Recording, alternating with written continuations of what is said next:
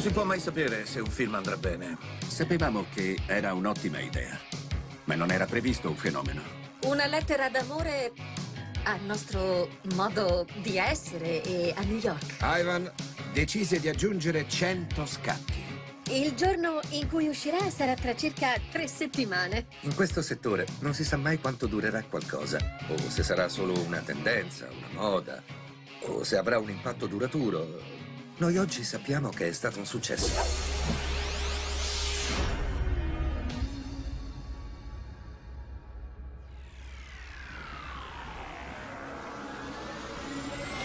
Insomma, ho avuto la sensazione che fosse unico.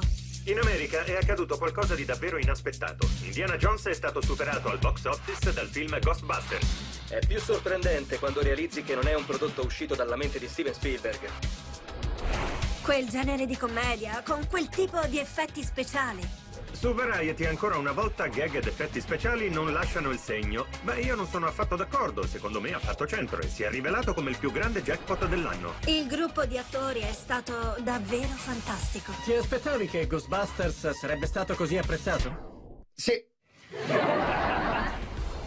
Da quando è uscito sono diventata famosa. Chiunque sarebbe risultato presuntuoso ipotizzando un incasso di 200 milioni di dollari. In fondo solo 5 film hanno avuto un tale successo. questo ti dà l'idea di quanto fosse vasto il fenomeno, replicato poi nelle estati successive. È stato un vero film. Avevo fatto solo una commedia di quell'entità. Non sapevo cosa fosse un BAFTA Award. Ghostbusters! Non avrei mai immaginato di poter vincere. Scusate, ma a differenza di altri io sono commosso. Pensi sempre che i premi siano per altri attori. Noi credevamo fermamente di poter conquistare una piccola nicchia nella storia del cinema.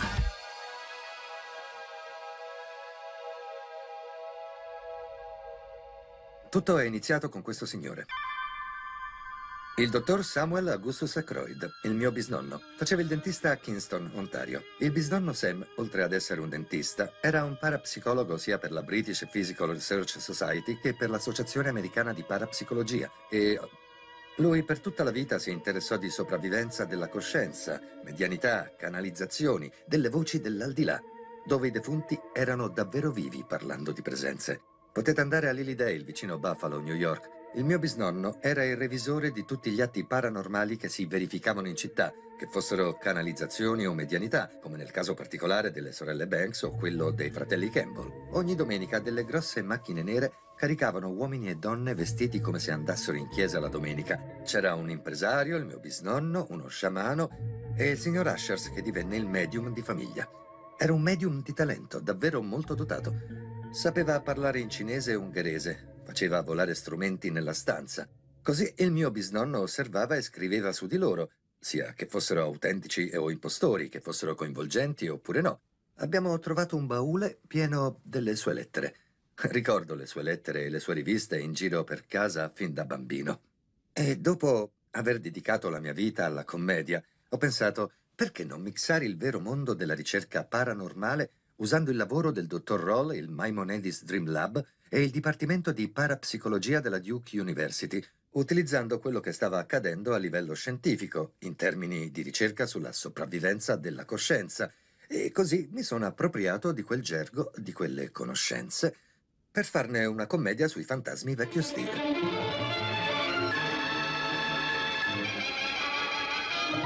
Believe in ghosts. or do I? Il mio soggetto conquistò prima di tutti Bernie Bilstein, il mio agente, che Dio lo abbia in gloria, una voce del passato che sentirei tanto volentieri. Ehi, come stai ragazzo? Ciao ragazzo, ciao, ciao, ciao. Entusiasmò anche Michael Ovitz, il famoso agente che fondò la CIA. I due, dopo averlo visto, dissero che era un film straordinario, da impacchettare nel modo giusto coinvolgendo le persone giuste. Ghostbusters è iniziato da una sorta di testo molto famoso scritto da Dan Aykroyd. Conosco Ivan da anni. Mi assunse come annunciatore in una stazione televisiva a Toronto. Lo conosco da tempo e il fatto che Harold Ramis lavorasse con lui. Il testo era d'impatto. Lo aveva scritto nei primi anni Ottanta, credo fosse ambientato nel 2012. Era un tipo di film molto diverso. Danny aveva sempre desiderato che lui e John Belushi potessero fare un film di fantascienza. Io, Eddie Murphy e John eravamo i predestinati Ghostbusters. Tutto si svolgeva nello spazio cosmico, in un prossimo futuro. Per una serie di ragioni tecniche si era creato uno strappo nella nostra realtà. Si trova tutto in un piccolo prologo. Abbiamo creato una breccia nel tessuto della nostra dimensione con le onde IMF. Questa era la premessa al primo film. L'elettronica sta producendo una spaccatura nel velo interdimensionale fra la nostra dimensione e la successiva. E l'energia dei fantasmi ha invaso la città di New York, dando vita a una nuova professione, Ghostbusters. Stavo lavorando con Ivan e Dan Aykroyd mi inviò uno script molto lungo. Il mio ricordo è che i molteplici Ghostbuster fossero come una sorta di idraulici. Can't believe I work for a company called Ghostbusters. Facevano il lavoro sporco. La squadra nel film era solo una delle unità Ghostbuster, classificati come uomini disinfestatori. Dovevamo presentarci su un furgone, sterminare fantasmi e andarcene. C'era lo zaino protonico, i Marshmallow Man, che è stato una... una delle 50 grandi illusioni. Il viaggio interdimensionale dei Ghostbuster dal loro mondo all'altro era indispensabile ed era ovvio che sarebbe stata un'apoteosi di effetti speciali. Come l'ultimo terzo del film, è stato un unico enorme effetto speciale. Era tutto molto stravagante, in realtà. Ghostbusters. Danny venne per incontrarlo e insieme andarono all'Arts Daily. Dissi a Dan che l'idea era grandiosa, ma che andava realizzata nel mondo contemporaneo e che avrebbe dovuto essere ambientata in una città reale, esistente, ad esempio New York. Quella storia fantastica sarebbe stata molto più suggestiva, ambientata in una realtà che tutti conosciamo. Sembrava che il cuore della commedia, del film, fosse nell'accostamento tra questi addetti alle pulizie che rendono il soprannaturale assolutamente ordinario e la collocazione del set in un luogo consolidato e grintoso come New York. Ma l'idea di base... eh, quell'idea era meravigliosamente geniale. Ivan mi conosceva fin dai tempi di National Lampoon e lui disse a Dan, perché non chiamiamo Remis? Potreste riscrivere il copione, lui potrebbe interpretare uno dei Ghostbusters. Da quando John era morto, Dan era diventato amico di Bill Murray, diciamo da quando io e Bill eravamo insieme al National Lampoon. Dicevamo, dobbiamo assolutamente convincere Murray a farlo. Gli daremo il ruolo di protagonista. Diventerà il più grande protagonista romantico che il mondo abbia mai conosciuto. E lui ha fatto questo per noi. In quel periodo mi divertivo abbastanza agli studios. I miei primi tre film furono Animal House, Meatballs e Stripes. Chiamai il capo della Columbia Pictures. Gli dissi, Frank, ho un'idea fantastica, un film con Bill Murray e Dan Aykroyd. Si chiama Ghostbusters. Sarà dei nostri anche Harold Ramis come come coautore con Danny. Lui mi disse di andare a parlargli del progetto e una mezz'ora dopo, che la nostra conversazione ebbe inizio, lui mi chiese quanto credevo che sarebbe costato. Io non avevo idea dei costi e sparai una cifra a caso. Ricordo che Ivan lo soppesò un po' e disse... Credo si possa realizzare con circa 30 milioni. Lui disse, avrai 30 milioni di dollari se lo consegnerai entro giugno del 1984. Era maggio del 1983 quando ebbi questa conversazione con Frank. Abbiamo deglutito e poi abbiamo detto, a maggio? Ma certo! Quello che avremmo dovuto affrontare nel maggio del 1983 fu la completa stesura della sceneggiatura. Trovare un'industria per gli effetti speciali che potesse occuparsi degli effetti visivi e che li montasse, tutti insieme. Non avevamo molto tempo e dovevamo scrivere la sceneggiatura partendo da zero.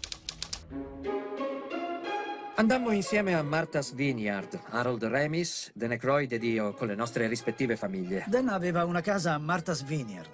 Lui e John Belushi, nella loro epoca d'oro, acquistarono una casa a Vineyard. Guidando, quando si arriva al confine della sua proprietà, trovi un checkpoint militare. Ricordo che c'era una sbarra che si abbassava ed era tutta dipinta con i nostri colori militari.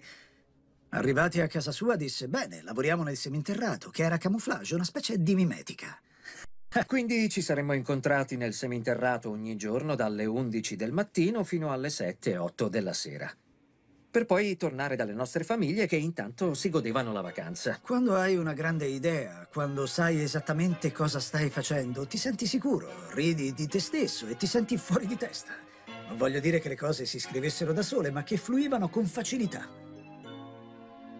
La nostra prima bozza è stata scritta in tempi relativamente brevi. Siamo riusciti a scrivere la sceneggiatura in poco più di due settimane. Davvero eccitante. È stato piacevole scrivere come abbiamo fatto noi. È stato molto divertente. Ci siamo divertiti, ma Una delle prime modifiche a cui io ed Ivan siamo arrivati in modo abbastanza autonomo era mirato a far sì che il pubblico sperimentasse un viaggio dallo scetticismo alla fiducia.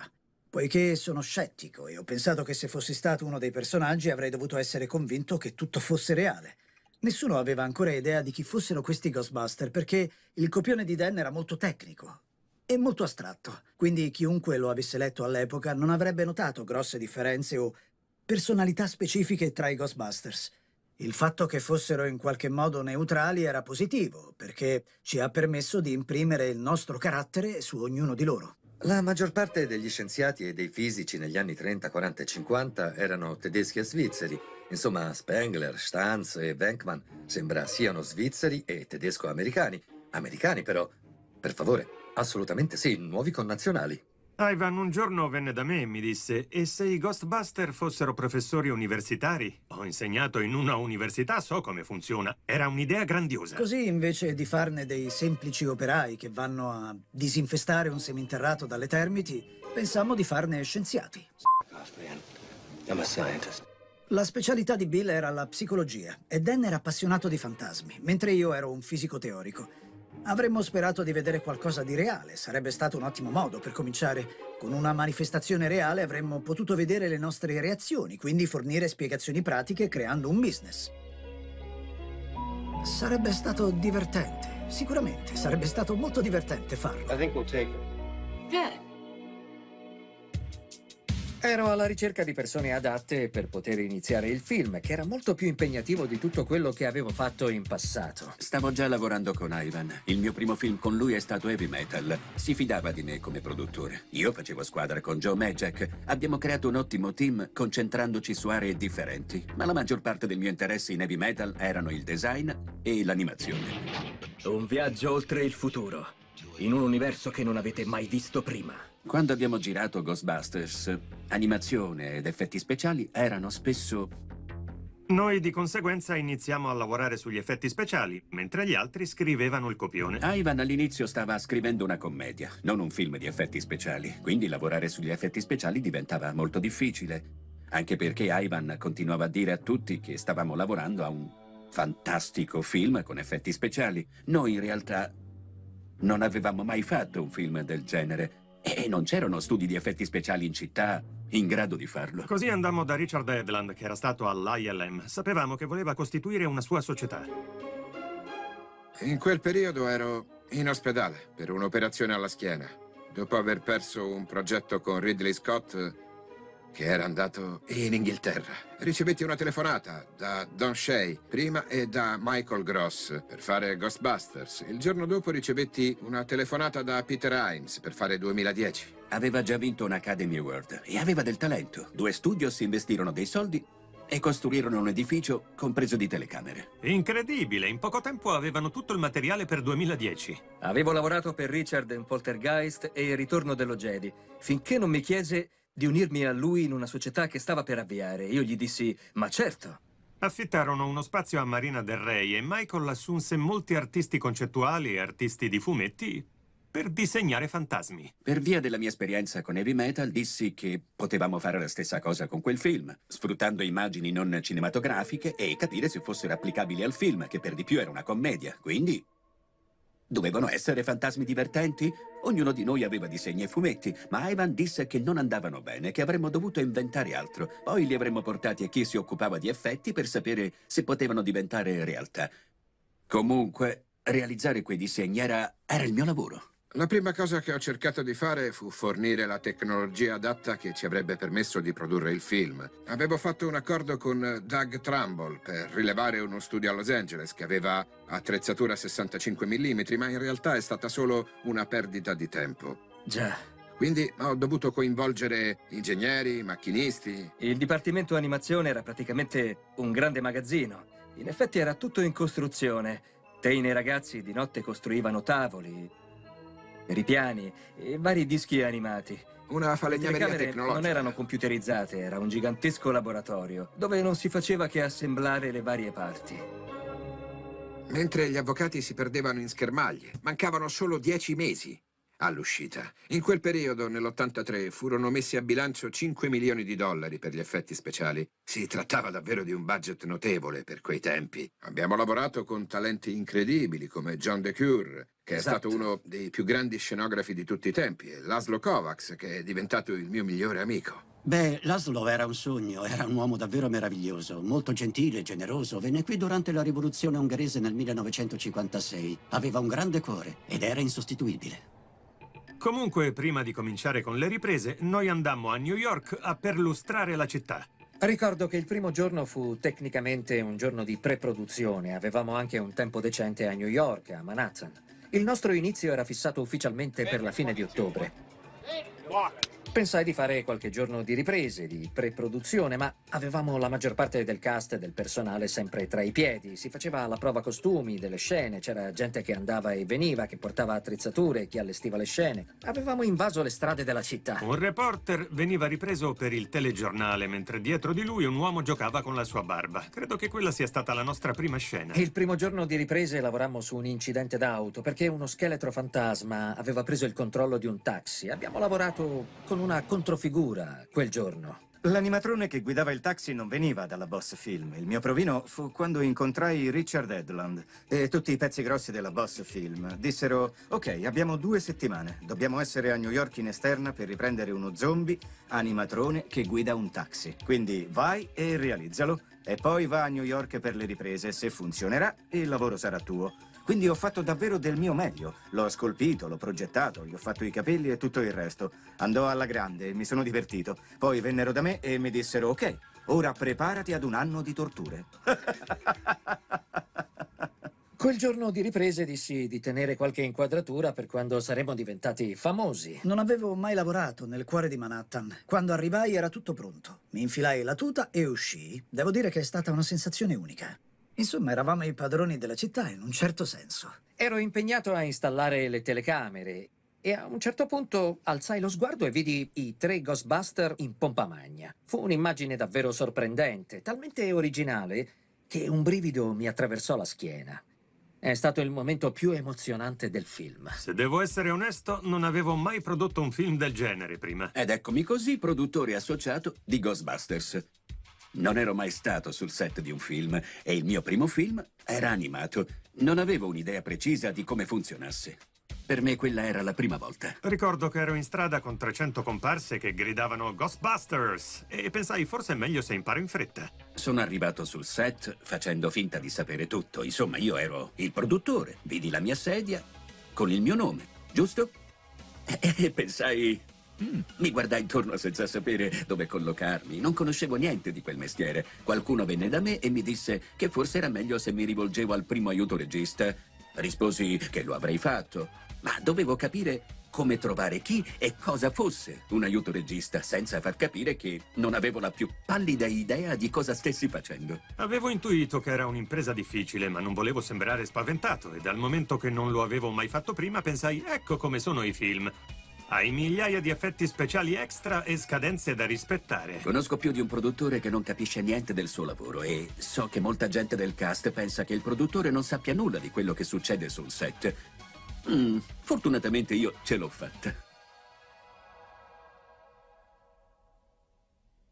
La primissima nota che si sente è la fiammata di luce della stella.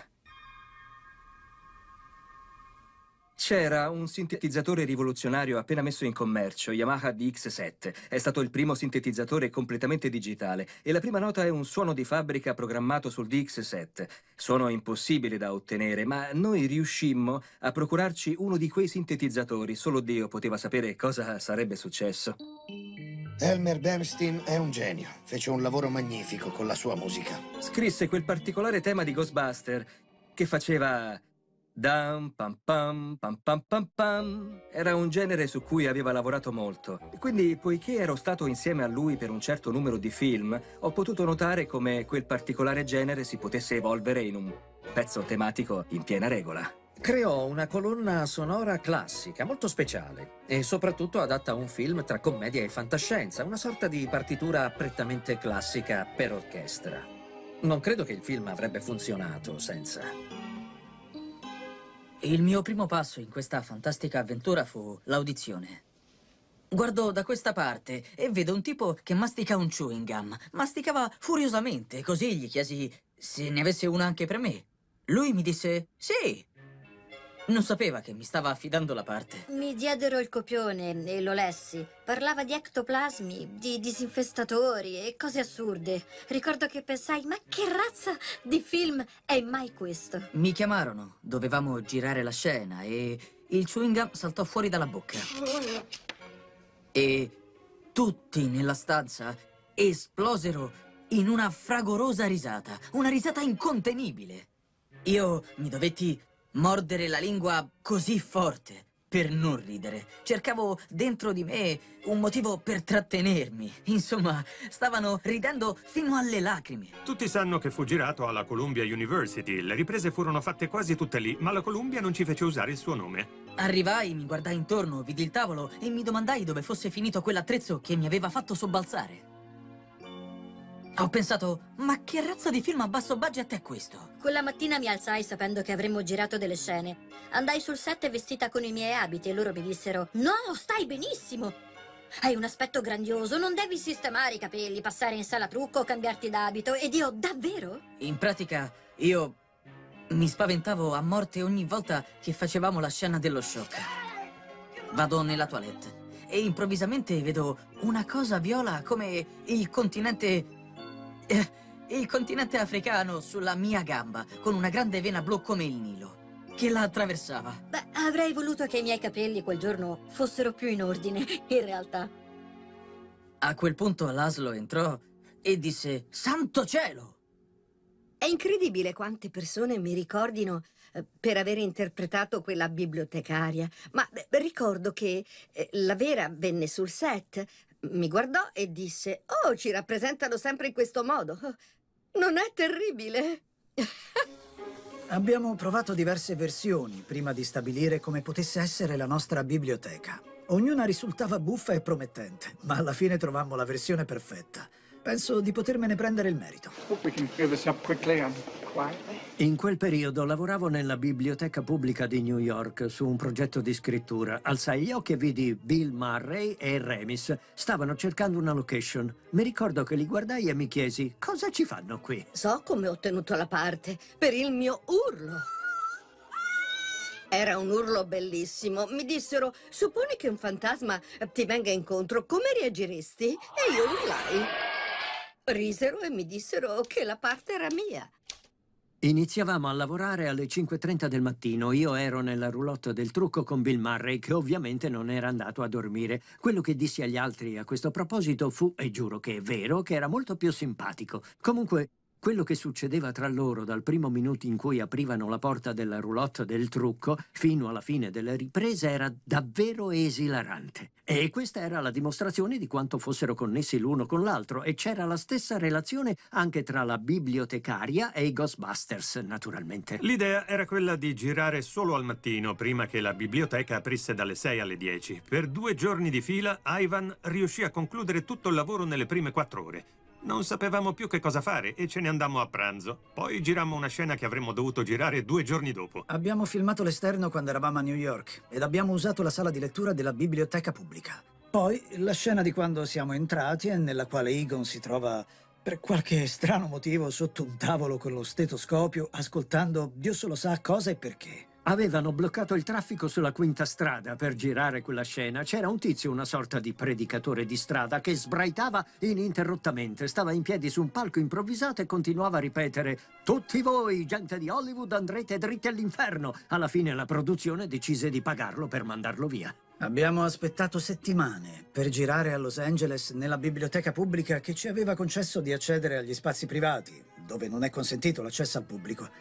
I film in genere hanno sempre una sorta di discontinuità quando fai le riprese. Ivan Reitman, il nostro regista, quando decise di farmi girare la scena con il fantasma, visto che non era abbastanza terribile, per farmi spaventare, gli fece muovere le braccia. La regia di Ivan era semplice e concisa. Sguardo spaventato e sguardo più spaventato. Insomma, questo è recitare. In quella sequenza non sono stati usati solo effetti concreti, ma anche effetti ottici. Come per i fogli che escono dagli scaffali e la poltiglia che scende da tutte le parti. I fogli venivano fatti volare da piccoli getti d'aria posizionati in tutti i cassetti. Quando se ne apriva uno veniva fuori l'aria. I libri che andavano avanti e indietro tra gli scaffali invece erano appesi a dei fili. Avete presente i libri impilati in verticale? Quella fu un'idea che venne ad Ivan mentre andava al lavoro e credo che Danny l'abbia realizzata. Symmetrical book stacking, just like the Philadelphia Man's Turbulence of 1947. Do exactly as I say. Get ready. Ready? Quello della biblioteca fu un momento davvero interessante. Era in una sola ripresa e avrebbe dovuto essere di 36 fotogrammi in un secondo e mezzo. Il film doveva essere spaventoso e credo che fosse indispensabile renderlo terrificante, ma sempre risultando comico. La vecchia signora doveva trasformarsi in una spaventosa bestia, talmente spaventosa che nessuno di noi riusciva ad immaginarla. Sì, ma come si può fare? Beh, è presto fatto, cambiamo tutto. Prendiamo la riproduzione di un umano e inseriamo dispositivi pneumatici che la deformino. Tutto quello che ho fatto per quel film era camminare sul filo del rasoio in bilico tra un incredibile successo e un tremendo fallimento. Dovevo capire se fosse meglio sbagliare tutto o non provarci per niente. Per certi versi ero come un metro al ristorante. In effetti il mio lavoro era assicurarmi che tutto andasse bene, che tutte le persone ai tavoli fossero pienamente soddisfatte e a loro agio. Dovevo creare un ambiente in cui tutti potessero fare il proprio lavoro al meglio. Io ho iniziato costruendo un prototipo. Avevamo pelle in schiuma di lattice, dei semplici tubi in PVC, bastoncini di legno, colla, viti e poi abbiamo messo tutto insieme con le prime pelli che erano state preparate sull'attrice. Volevo che la testa fosse più bassa, le spalle più sollevate, che i suoi deltoidi e i bicipiti si allungassero da qui fino ai polsi, per permettere anche alle dita di allungarsi. Volevo che la bocca si ingrandisse, che la testa si appiattisse. Volevo che lei diventasse un essere mostruoso, girato a 36 fotogrammi, ed era una cosa fattibile. Rolling, dude, do your bad thing. Mentre lo stavamo costruendo, pensavo che non saremmo riusciti a controllarlo. Ci sarebbero voluti 30 burattinai. E comunque quei 30 burattinai dovevano raggiungere l'obiettivo. Quando il regista diceva azione, per un secondo dovevano fare tutti la stessa cosa e non era possibile. Dovevo andare al di fuori del nostro gruppo a cercare qualcuno che fosse in grado di automatizzare. Dissi che il nostro problema era far accadere tutte quelle cose. Il tutto doveva accadere in fretta, ma anche in tandem, in accordo. Una sinfonia. Il meccanico, John Alberti, gli diede il modello e gli disse che era quello che voleva Steve e vedere quanto si muoveva e quanto si alzava. Ci saremmo dovuti preparare con mesi di anticipo per mettere a punto tutto quello che avremmo dovuto cambiare e sistemare. Quindi poter prendere le misure, basare la sottostruttura meccanica e spostare quella cosa di gomma basandoci su dei calcoli. Quell'uomo era un genio. Ha fatto in modo che ci fosse un solo burattinaio. Un solo burattinaio. Potevi stare seduto a bere una birra fumare una sigaretta e alla parola azione un semplice gesto. Ed ecco la bibliotecaria. Ci sarebbe stato un secondo stadio della trasformazione che le avrebbe spinto fuori il muso con quei mostruosi denti affilati che fuoriuscivano. Ero circondato da scheletri. Mentre io modellavo le braccia del demone, Steve Johnson dava forma alla testa sulla base di ciò che avevamo realizzato nella prima parte della trasformazione. Poi Richard disse: No, nessun altro pupazzo. Nessun altro pupazzo. Non continuate quel lavoro. E io gli dissi, ma è quasi finito, verrà benissimo, è un 36 fotogrammi. Finiamolo e basta. Fu la decisione giusta e fu un grande momento. Si muoveva velocemente, avevamo l'effetto desiderato.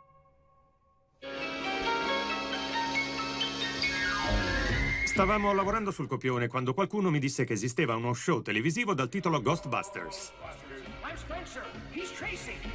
Il titolo era di proprietà di una società che si chiamava Filmation, che faceva cartoni. Quando iniziamo le riprese, la Columbia non voleva fare accordi con loro. Pensammo di dover cambiare in Ghost Breakers. Blasters?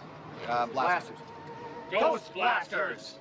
Ghost Stoppers! We're ready to believe you! Bene, ora fatelo di nuovo, restate concentrati sull'obiettivo. Per un po' abbiamo avuto delle schede da compilare con tante diciture che venivano usate per i rapporti di laboratorio. Stavamo girando una scena nella quale dovevamo inserire un cartello con la scritta Ghostbusters, poi Ghost Breakers, poi Ghost Catchers. Gli dissi che così non avremmo mai terminato il film. Dovevamo essere autorizzati a usare il titolo Ghostbusters. Quindi acquistarono i diritti consentendo alla Filmation il permesso di usarlo. Starts Monday at 3.30 only on Channel 11. Ehi, questo palo funziona ancora? La caserma dei pompieri. Ci serviva una caserma dismessa. La caserma dei pompieri si trova proprio alle porte di Soho, a New York, e all'inizio di Tribeca. C'è un incrocio tra Varick e Northmore. Era la tipica caserma dei pompieri. All'esterno somigliava a quella di New York. La gente ne andava fiera e c'era un continuo via vai. Ma all'interno invece era molto simile a una caserma nel centro di Los Angeles. Costruita esattamente nello stesso anno di quella di New York, fu una trovata eccellente. Il logo per Ghostbusters fu molto semplice. Coming to save the world. Non l'ho ideato io, l'ho trovato già fatto. Era già nella sceneggiatura di Dan, io l'ho concretizzato. Non si trattava di realizzare un logo per la campagna pubblicitaria di un film importante. Doveva essere qualcosa che si potesse mettere sui vestiti e sulle portiere delle auto. C'era un team di artisti che già lavorava agli effetti speciali. Io andai dal migliore. Quando Gross disegnò il logo, gli dissi di realizzarne svariate versioni. E lui le consegnò al reparto artistico. Abbiamo descritto il personaggio di un vicino di casa particolare per la nostra Dana. Volevamo John Candy nel film, adoravamo John e avremmo voluto lavorare con lui dai tempi di Second City. In effetti ho degli storyboard fatti proprio per John. La sequenza del party, in cui il cane infernale sfonda il muro, per esempio, era disegnata per John Candy. È il mio preferito e anche un ottimo amico. Ricordo che gli telefonai e gli dissi che avevo una parte perfetta per lui. Poi gli inviai una sorta di bozza che avevamo messo insieme abbastanza velocemente. Lui mi chiamò e disse: Bene, stavo pensando di interpretarlo con un accento tedesco. Potrei anche avere un cane. Un cane, cosa? Sì, un grosso pastore tedesco, al che gli risposi che non era possibile, che la sceneggiatura prevedeva già la presenza di altri cani e visto che la storia era già abbastanza complicata, non potevamo confondere ulteriormente il pubblico. Ma lui era irremovibile perché voleva l'accento tedesco e anche il pastore tedesco. John chiedeva troppi soldi. Quindi alla fine non ha ottenuto la parte nel film. Rick Moranis lavorava con lui alla SCTV. Io lo conoscevo perché sono canadese e tra di noi ci conosciamo tutti. Lo chiamai perché pensavo che potesse essere perfetto per quel personaggio. Un tipo un po' più nervoso del nerd che avrebbe dovuto interpretare. Rick lesse la sceneggiatura in meno di 24 ore, mi chiamò e disse ne sarai felice, è il copione più bello che abbia mai letto. Yeah, ghosts. They scare the pants off me. The polyester pants off me. Rick era eccezionale e brillante, si sposava perfettamente con quel personaggio, quindi divenne Louis Tully. Direi che Sigourney sia stata la più grande sorpresa del film per noi. Ha avuto una notevole importanza sul prodotto finito. Avevamo scritto la sua parte velocemente, in realtà non era completata. Sapevamo che c'era una donna nell'edificio di Central Park che Bill Murray doveva controllare per via delle cose che stavano accadendo lì dentro. C'era una presenza, ma non c'era nessun personaggio, non avevamo un ruolo per lei. Per anni siamo stati accusati di non aver previsto personaggi femminili, perché il film all'epoca era destinato a un pubblico maschile. Ho incontrato attrici davvero perfette per quella parte. Non ti ricordi di me? Sono Peter Venkman di Ghostbusters. Io sono Zul. Sono la guardia di porta. Il mio psichiatra pensa che stia impazzendo, i miei amici che stia prendendo LSD e che non ho il coraggio di dirlo ai miei genitori. Poi arrivò Sigourney Weaver con il suo metro e ottanta di altezza. Non so esattamente perché abbiano pensato a me, perché io in realtà non avevo fatto molte commedie, forse qualcosa in teatro, ma mai al cinema. Dovevo incontrare Ivan Reitman. Ricordo che andai a Los Angeles e feci un provino per lui. Era la prima volta che venivo ripresa per un provino. Ne stavamo parlando finché disse, quindi potrei essere posseduta nel film. E io pensai, oh no, anche lei finirà per rifiutare come John Candy? Ricordo che volevo quella parte ad ogni costo e così dovetti diventare un cane. Verso la fine della scena dovevo diventare il terror dog. Così iniziai a saltare qua e là, a mordere i cuscini. Indossava un abito molto corto ed era davvero sexy. Abbaiava alla luna ed io ero esterrefatto. La donna che aveva sconfitto gli alieni era lì che abbaiava alla luna, nel mio ufficio. Credo di averlo spaventato. Mi disse che non avrebbe mai mostrato quel provino. Ho chiamato Dan ed Harold e gli ho detto che lei avrebbe voluto essere posseduta e che, secondo me, aveva un senso. Sentivo che avrei fatto un ottimo lavoro interpretando Dana, perché la sceneggiatura mi era piaciuta molto. Pensavo fosse una lettera d'amore alle nostre condizioni comuni e a New York. Sigourney è bellissima, statuaria direi, una donna davvero intelligente. In effetti mi ricordava molto Margaret Dumont. per la sua presenza, aveva la stessa regalità della Dumont quando lavorava con i fratelli Marx. Ho pensato subito che avrebbe funzionato. Sicuramente è un'attrice straordinaria, ma al di là di questo avrebbe avuto la forza e la determinazione per non essere bullizzata dal nostro Bill Murray. Ci ha fatto desiderare di essere migliori. Ha innalzato il livello e ha fatto desiderare anche a Bill di essere migliore. Tanto che ci disse, dimostrerò a tutti il mio valore. Insomma, che lei fosse troppo brava per uno come lui appariva in modo evidente, in ogni cosa che facevano o che dicevano. I am madly in love with you. Don't believe this. Will you please leave? Il fatto che lui dovesse mettersi alla prova è stato determinante, perché è riuscito a dare un certo peso al suo personaggio conquistandola. No kiss.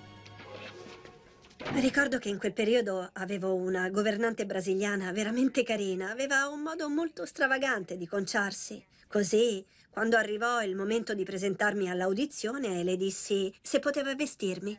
Bene, la mia governante brasiliana mi vestì e io ebbi quella parte.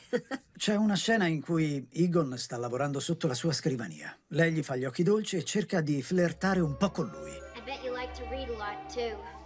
Può darsi che questo abbia aggiunto qualcosa al tutto, la scoperta che ci fosse un'attrazione tra noi. Insomma, perché no? Quella relazione era un'ipotesi nella sceneggiatura. I want you to take this. What is it? It's a souvenir from the World's Fair at Flushing Meadow in 1964. Nel film, in realtà, un po' di questo c'è, ma iniziai a pensare che fosse davvero sbagliato per Egon essere coinvolto emotivamente in qualche modo nel film. Ma Annie Potts era deliziosa e anche lavorare con lei lo era. Era entrata nello spirito del film e così anch'io. Lei è una ragazza del sud, ma nel personaggio ha messo un po' di falso Bronx, qualcosa di Brooklyn e ha funzionato. Molti durante i casting non mi ci vedevano, pensavano che fossi troppo newyorchese, ma io sono... io... Io sono una ragazza del sud, sfoderavo quell'accento, ma in realtà stavo già recitando. Lei era proprio una componente adorabile del team. Oh mio Dio, dovrebbe essere inciso sulla mia lapide. Avevamo una canzone che il mio manager aveva proposto ad Ivan, che mi disse, vuoi fare questo film? C'è una canzone che potrebbe essere per te. E io gli dissi, mi sembra una bella idea. Quindi aggiunsi che ci avrei dormito su, ma lui non aveva tempo. Così mi chiese di dare un'occhiata alla partitura, vedere se c'era qualcosa da cambiare, che avrei dovuto mandargliela via fax nel giro di 30 minuti. Insomma, in questo mestiere si impara subito che la prima cosa da dire è sì. Poi metti giù il telefono e cerchi di capire come puoi fare. Così ci ho messo circa 45 minuti a riguardarla e a mandare le correzioni ad Ivan. Lui mi disse subito: Sì, funziona. Il modo in cui hanno usato quella canzone era eccezionale e i Buzz Boys erano, in realtà lo sono ancora, dalla parte della classe operaia. Il fatto che ci avessero usato proprio nel momento in cui finalmente avevano ottenuto quel lavoro è stato geniale.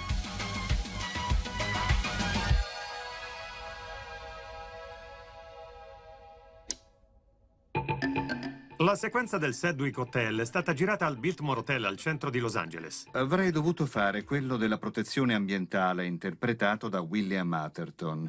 Il mio agente mi chiamò e mi disse se volevo un premio di consolazione. Di fronte al Biltmore Hotel a Los Angeles c'è soltanto un parco, ma guardando fuori avresti dovuto vedere un intero paesaggio urbano.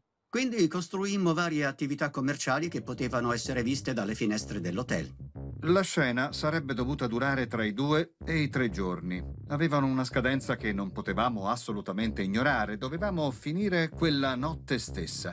È stata una cosa molto impegnativa ed ha richiesto un tempismo preciso. Io ero un attore classico proveniente dall'Accademia di Arte Drammatica di Londra. Ero molto preparato, conoscevo bene quello che dovevo fare e i tempi di recitazione, ma, ma poi mi hanno messo insieme a quei ragazzi e... Did you ever report it to anyone? No, heavens, no. No. Cercavo solo di capire quando avrebbero finito di improvvisare e se avrebbero continuato a sbagliare. Alla fine Ivan Reitman si infastidì parecchio e urlò contro di me.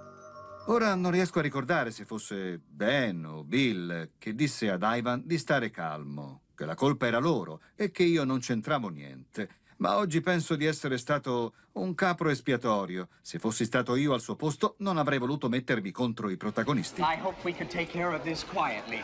Tonight, John DeVakis e io abbiamo progettato il film a partire dagli oggetti di scena fino alle automobili. Avevamo una fantastica equipe professionale di designer di Hollywood e di costumisti, ma l'idea di base per gli ectoplasmi fu mia e di DeVakis. Lui è mio amico dai tempi del college, è riuscito ad elaborare graficamente tutte le mie idee. Quando arrivammo avevamo tutto, gli ectoplasmi, le auto, le bacchette e la tecnologia per realizzare tutti quegli oggetti. Avevamo le tute, insomma, l'equipaggiamento completo per addetti alle pulizie. Nella sceneggiatura i lanciatori di razzi venivano chiamati bacchette protoniche. Avevano uno zaino e una sorta di congegno che arrivava ai polsi e veniva fuori. Si premeva un pulsante e uscivano due bacchette.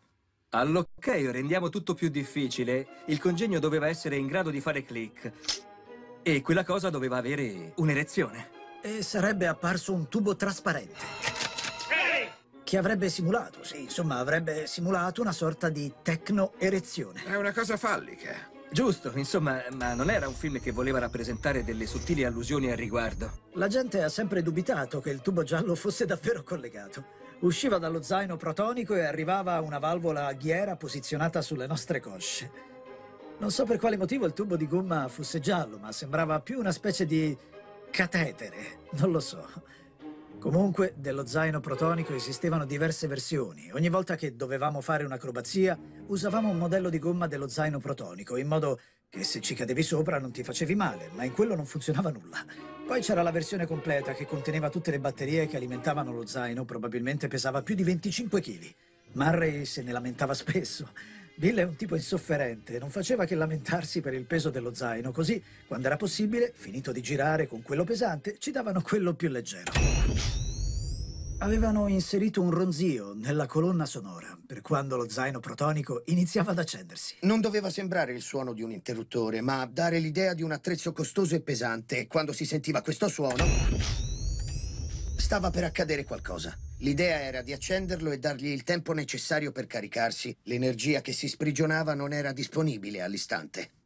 Era davvero ben congegnato.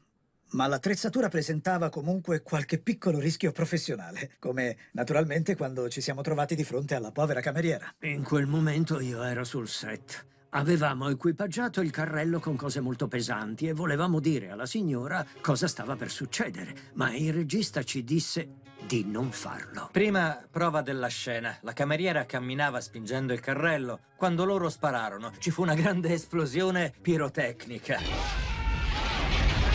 Lei si spaventò a morte. Si chinò e si coprì, cosa decisamente prudente, e poi alzò lo sguardo e disse What the hell are you doing? Che diavolo state facendo? Ed è nel film. È stata una reazione naturale. Il problema più grande con lo zaino protonico era cercare di capire come avrebbero funzionato i raggi. Dovevano essere animati, ma non c'erano molti effetti animati da usare per una pistola a raggi. Tutto il film richiedeva effetti speciali e pensavo fosse facile usare il digitale, ma non lo fu, quindi lo abbiamo reso con l'animazione. Per far funzionare l'artificio bisognava capire come distrarre l'occhio con abilità. Abbiamo disegnato molte tavole. Poi arrivò Dan ed è stato come parlare a un bambino. Abbiamo dovuto parlare ancora delle bacchette neutroniche. Lui disse che non si trattava di un laser e che dovevamo immaginare un bambino di 8 anni che prende una manichetta antincendio, la aziona e inizia a dibattersi per la stanza cercando di domarla. Quando premevi il grilletto, la lampadina alla sommità della bacchetta si accendeva. Era un segnale per i ragazzi degli effetti speciali per far partire il flusso protonico. Volevo luci stroboscopiche e illuminazione interattiva per dare agli effetti un aspetto fisico. Era tutto enfatizzato e la sala sembrava stesse saltando in aria. Potevamo usare effetti speciali animati, sarebbe stato più facile, ma non avrebbe dato lo stesso risultato delle riprese dal vivo. Era un agente elegante, un collante. È così che si comprendono i trucchi delle produzioni cinematografiche. Nello storyboard della scena c'erano cinque raggi luminosi. Quando Ivan montò il filmato risultò di gran lunga migliore e improvvisamente ne fece risultare undici. Gli dicemmo che non avevamo né tempo né denaro per farlo, ma lui non sentì ragioni. E John Bruno fu così intelligente da elaborare e realizzare quel concetto. C'era chi poteva provvedere. Se c'è una cosa che abbiamo continuato ad aggiungere nel film sono i raggi fotonici. Creare un qualcosa di simile ad una luce gommata è la caratteristica di Ghostbuster. Come potevamo fare in modo che puntassero quegli affari nella giusta direzione? È tutto molto rapido. È difficile da notare, ma se lo guardi al rallentatore ti rendi conto che anche dal bersaglio esce un raggio verso la pistola. Quindi in pratica l'energia esce e torna allo stesso tempo. Quando si decise di fare la scena del fantasma, capirono di non poter girare nei corridoi dell'hotel, perché sarebbe stato impossibile avere la luce necessaria per poi lavorarci con gli effetti speciali. Così costruirono gli stessi corridoi alla Warner. Beh, Slimer è nato come un fumetto.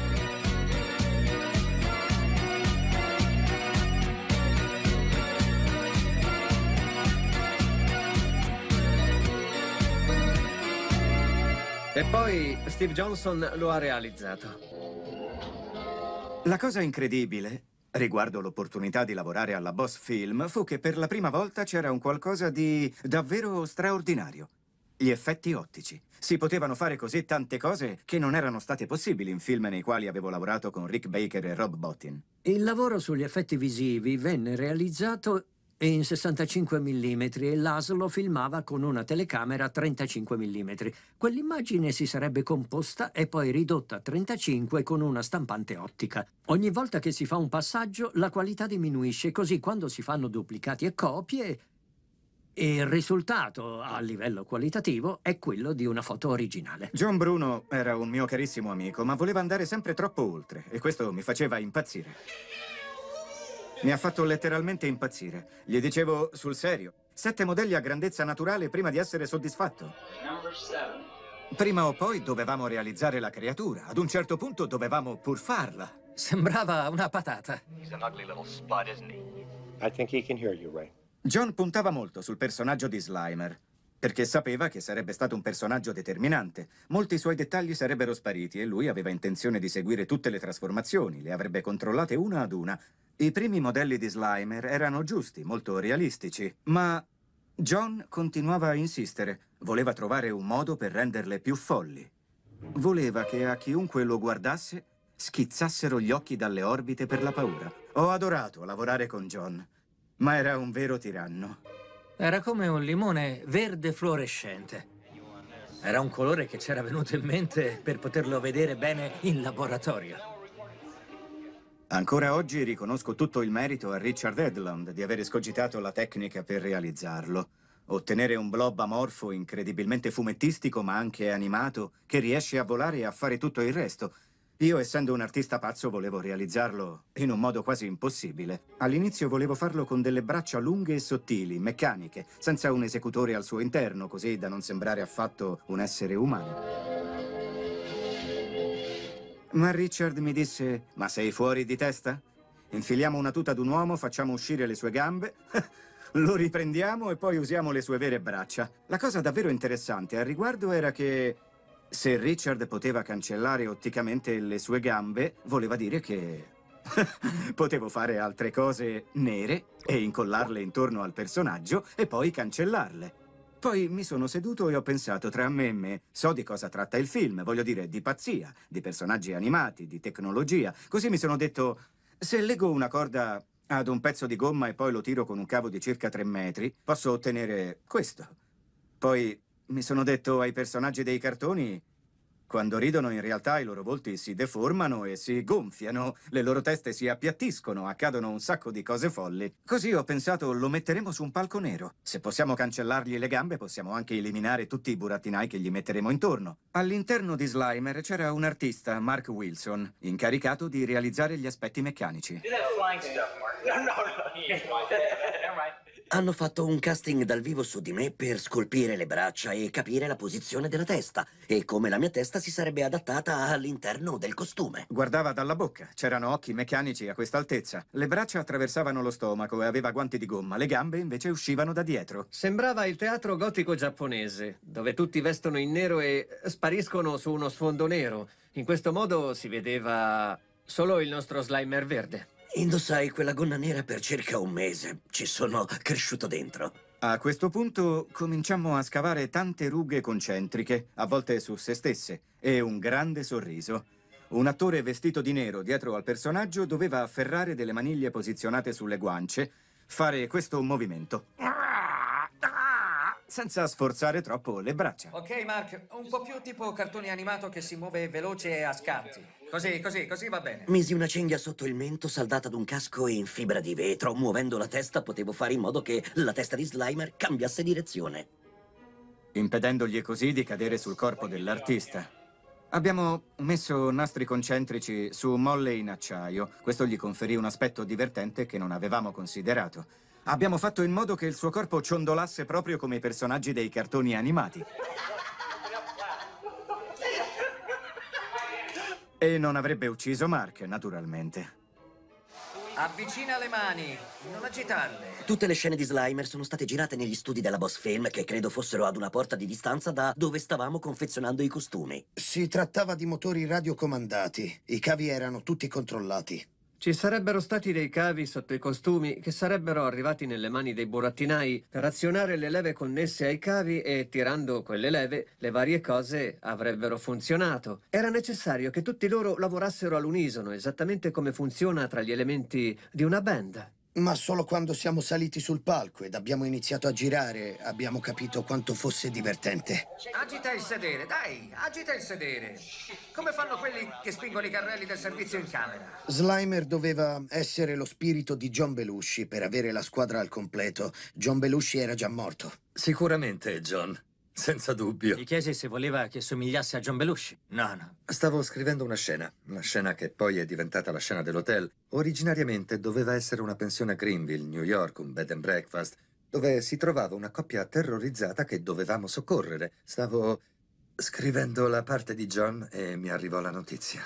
Guardavamo i film di John Belushi, in particolare Animal House, e notavamo tutte le sue incredibili espressioni che comunque facevano sempre parte delle sue performance. C'erano cose che Belushi faceva con le sopracciglia, cose tipo queste, che io adoravo, quindi ho fatto in modo di ottenere quella stessa incredibile espressione con l'aiuto del burattinaio. In realtà Slimer non si muoveva da dove stava. Era su un grande carrello su cui c'erano anche svariati burattinai. Per farlo muovere era necessario coinvolgere i burattinai e il pupazzo. L'opzione era girargli intorno con la telecamera. È ovvio che muovere una telecamera su un binario del dolly risultava più semplice. Richard è stato un pioniere per quanto riguarda il movimento e il controllo. Il modo in cui fai muovere qualcosa, non sposti la cosa, muovi la telecamera. Le mani più in fuori, Mark. Più vitalità. Bene la bocca. Grande bocca. Me lo ricordo sulla scena. Ivan ha dato voce a quella creatura.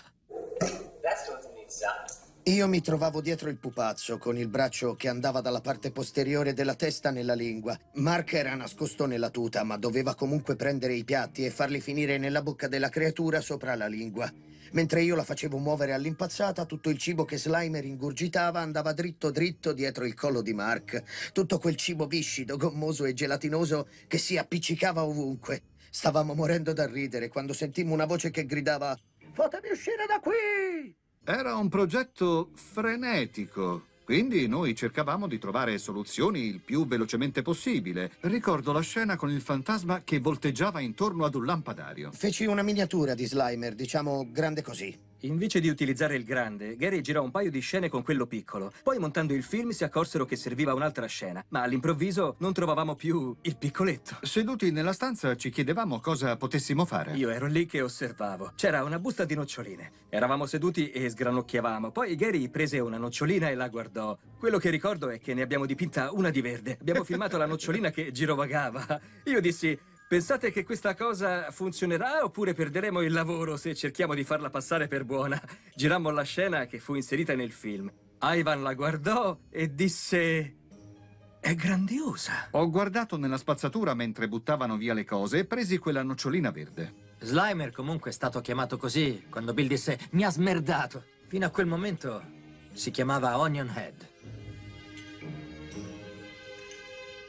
Nella sceneggiatura originale avevo un ruolo più importante. Il personaggio che mi avevano dato all'inizio del film faceva parte del team. Era appena uscito dall'aeronautica col grado di maggiore ed era un esperto in demolizioni. La storia mi aveva subito affascinato e in effetti non vedevo l'ora di cominciare a girare. Pensammo che fosse il caso di inserire un nuovo Ghostbuster a circa metà del film. Volevamo un carattere che non fosse scontato, che sarebbe apparso nella storia un po' più tardi e che avrebbe dovuto rispondere alle varie domande su quello che stava succedendo a New York. Per riaccendere l'incredulità del pubblico, è chiaro, qualcuno che rappresentasse il pubblico con il suo legittimo scetticismo. Volevamo che effettivamente avesse un bel fisico e che avesse competenza da un punto di vista militare.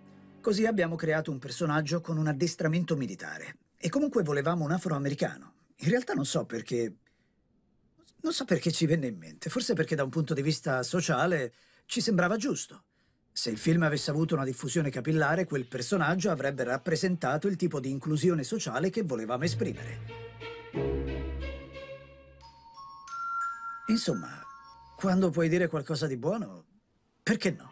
Ho sentito parlare per la prima volta di Ghostbusters in un ascensore dell'ospedale Cedar Sinai a Los Angeles. Eh, Stavo andando a trovare un amico, ero nell'ascensore e anche Ivan Reitman era in quell'ascensore. Abbiamo fatto 12 piani insieme nel silenzio più assoluto. Poi ho accennato un saluto e, e lui mi ha detto che stava girando il film Ghostbusters. Io l'ho trovato grandioso, poi ha aggiunto che non c'era niente per me. Comunque in seguito ho saputo che il casting stava cercando un attore nero per una parte. Ma credo che lui pensasse che io non fossi adatto perché l'anno prima avevo recitato in Space Hunter, dove interpretavo un uomo fuori dal comune, avevo la testa rasata, la voce era una via di mezzo tra l'impostato e il perentorio. E in pratica ero l'esatto opposto di quello che lui stava cercando. Era arrivato da poco e aveva fatto il provino. C'era una dolcezza in lui che ho subito adorato, così l'ho scelto. Sembrava l'uomo perfetto per fisico e forma. Nessuno di noi era come lui. Fino a che non fummo pronti per girare il film. Poi la parte è stata riscritta ed è, è cambiato tutto. Per lui scrivemmo le battute migliori.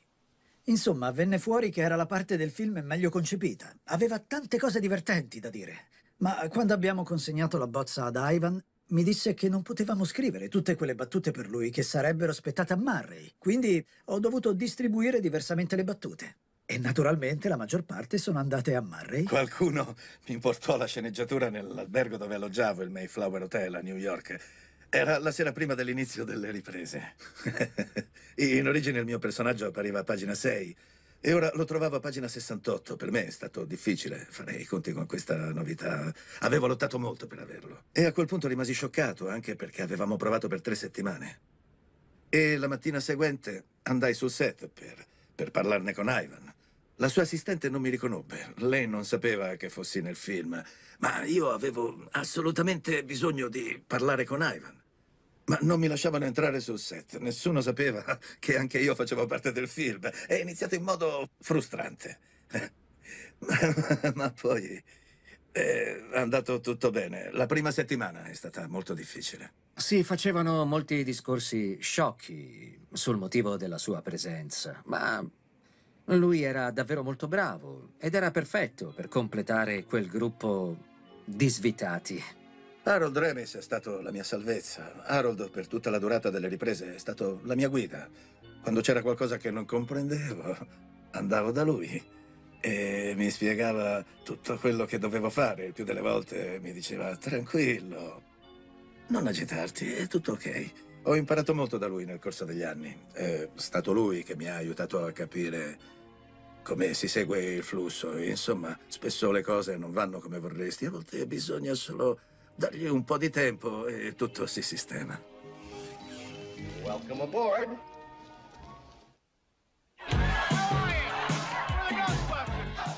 In quel momento non avevamo un direttore musicale e Gary Lemel, che era il responsabile musicale alla Columbia, ci diede una mano. Scrivemmo un tema musicale sperando che funzionasse, ma non era esattamente lo stesso che era sul trailer uscito a Natale. Ghostbusters, coming to save the world this summer. Gary Lemel disse coinvolgerò nel progetto anche Ray Parker.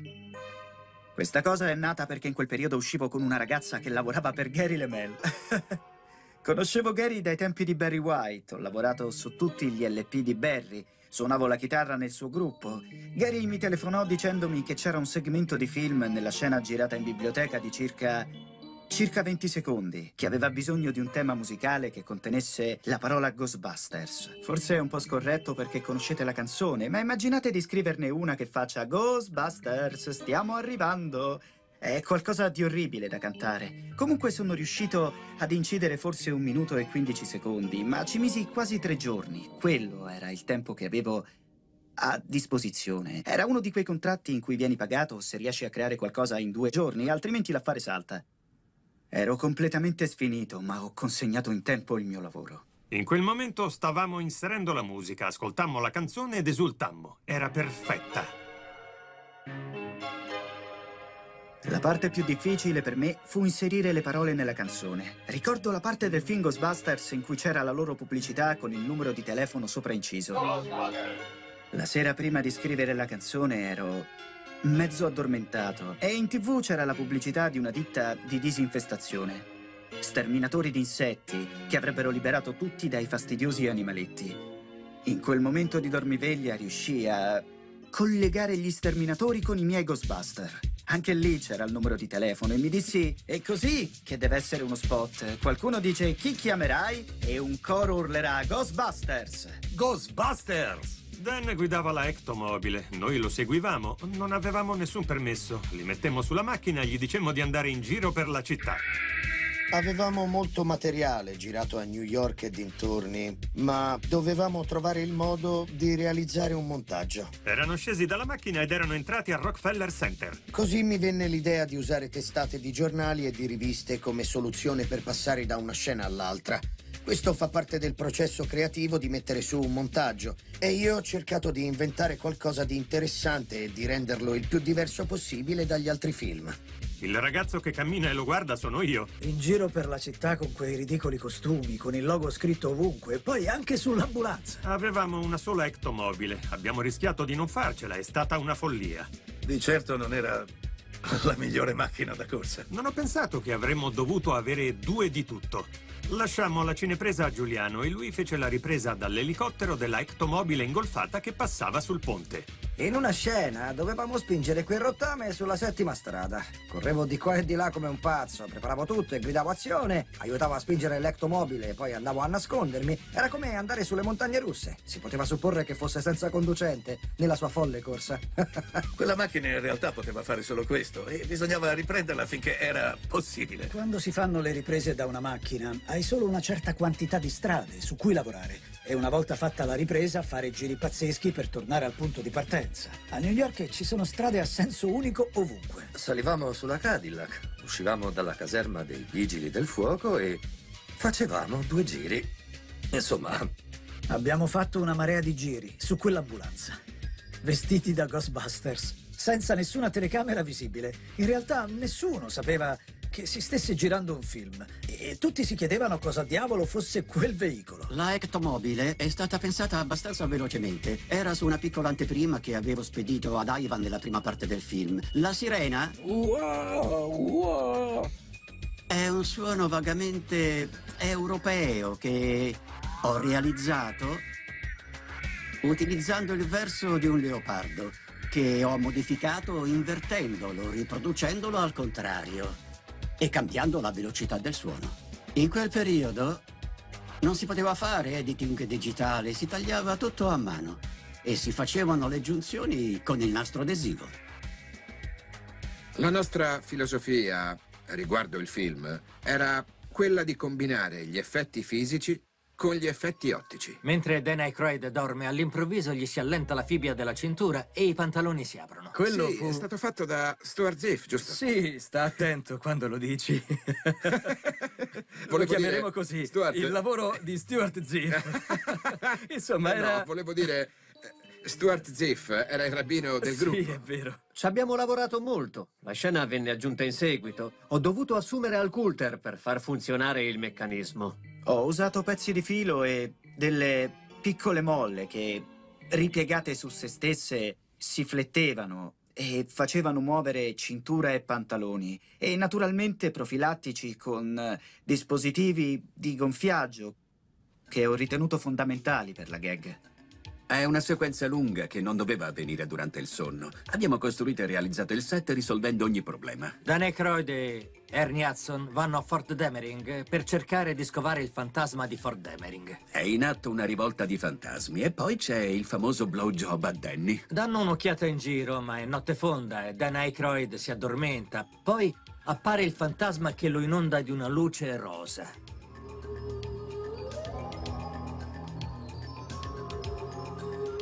Lo sveglia, gli slaccia i pantaloni e i suoi occhi si incrociano. Non ero sicuro di quello che stava succedendo. Stava vivendo un sogno con un fantasma. Se devi essere perseguitato da un fantasma, quello è il tipo di fantasma che vorresti. In quel momento ho pensato, perché il fantasma ha scelto lui e non me? Ma ormai me ne sono fatto una ragione. Una volta che il film ha iniziato la sua ascesa, se gli avessero dedicato la quantità di tempo che avevano pensato all'inizio, si sarebbe interrotto quel ritmo, si sarebbe fermata l'ascesa. Quindi hanno dovuto ridurre il tempo. Una volta eliminata una scena, bisognava fare i conti con il montaggio. Sarebbe stato imbarazzante chiedere a quelli degli effetti potete tagliare quattro scene? Ho sempre pensato che tutti i partner che ho avuto nelle varie scene siano stati davvero magnifici. Non penso che il mio personaggio sia competitivo, almeno non per come l'ho interpretato. Lui è piuttosto connesso con il suo bambino interiore. È stata una delle prime scene che ho girato. Anzi, credo si trattasse proprio della prima scena. Eravamo al Lincoln Center, un posto magnifico per iniziare. Ci siamo divertiti e penso che Timothy Currert sia stato grandioso con lo spray. Non sapevo che il film sarebbe stato tanto bello, perché loro non mi hanno detto Tim, vieni sul set, un mese prima così ti raccontiamo quello che dovrai fare. No, non l'hanno fatto, mi hanno chiamato il giorno dell'inizio delle riprese. Era un posto divertente per girare una scena e l'inizio di quello che ritengo una delle cose migliori di Ghostbusters, una lettera d'amore a New York. Sigourney è una professionista molto seria, mentre Bill non lo è. Avevo girato solo un paio di scene qualche giorno prima di girare con Bill, ma Bill non arrivava. A che ora doveva essere qui? Naturalmente fece ritardo solo di qualche ora. Così siamo stati costretti a iniziare la scena senza di lui. Alla fine arrivò, ma era evidente che non sapeva quale scena avremmo girato. Bill era sempre ben disposto ad improvvisare, ma non si poteva, perché avevamo già girato una parte quindi era necessario che dicesse le battute esatte. Era un tantino in imbarazzo per quel suo ritardo, voleva sdrammatizzare, cercando di farci ridere, ma io ero impassibile, era come se pensasse che succede? Che cos'è che non va, Annie? Dai! Ghostbusters, what do you want? E gli dissi, non c'è niente che non va, vorrei solo che ti mettessi al tuo fottuto posto e recitassi le tue maledette battute. E andrà tutto bene. Se non ricordo male, partì l'applauso. Good job, isn't it? I'm Walter Peck. Non ho fatto un lavoro di ricerca sulla vita giovanile di Walter Peck. Ho pensato però alla mia vita giovanile, che andava benissimo per prendere spunto. Non avevo bisogno di nessun altro. Vivevo a New York, così andai ad incontrarli. Li conoscevo a malapena perché lavoravo con Gilda Redner a New York. Li avevo incontrati tutti quel giorno e li trovai, voglio dire, erano delle icone della comicità. Parlai con Harold, e anche con Ivan, perché sapevo di non poter competere in fatto di comicità. Dovevo recitare come se fossi Antigone. Dovevo essere una Margaret Dumont al maschile. Ecco cosa ho pensato. Certamente non ero un comico e non sarei stato in grado di competere con loro. Sarebbe stato stupido. Così mi descrissero il personaggio in modo essenziale. Faceva parte della struttura della storia. Avevano bisogno di un cattivo. Avevano bisogno di una sorta di antagonista. Fiona Aldridge era una grande costumista, la conoscevo dai tempi del teatro. Ci sedemmo e mi chiese che vuoi fare, come vuoi sembrare. E io le dissi vorrei renderlo visivamente graffiante. Volevo un abito blu, avevo una spilletta P beta K molto difficile da vedere, ma che conferiva una certa importanza. Fioni mi ha dato una grande mano. È bastato indossare il giusto tipo di gessato, la giusta cravatta. Mi sono fatto crescere la barba. Ho respirato profondamente, ho sperato che funzionasse e ha funzionato. You can have it your way, Mr. Beckman.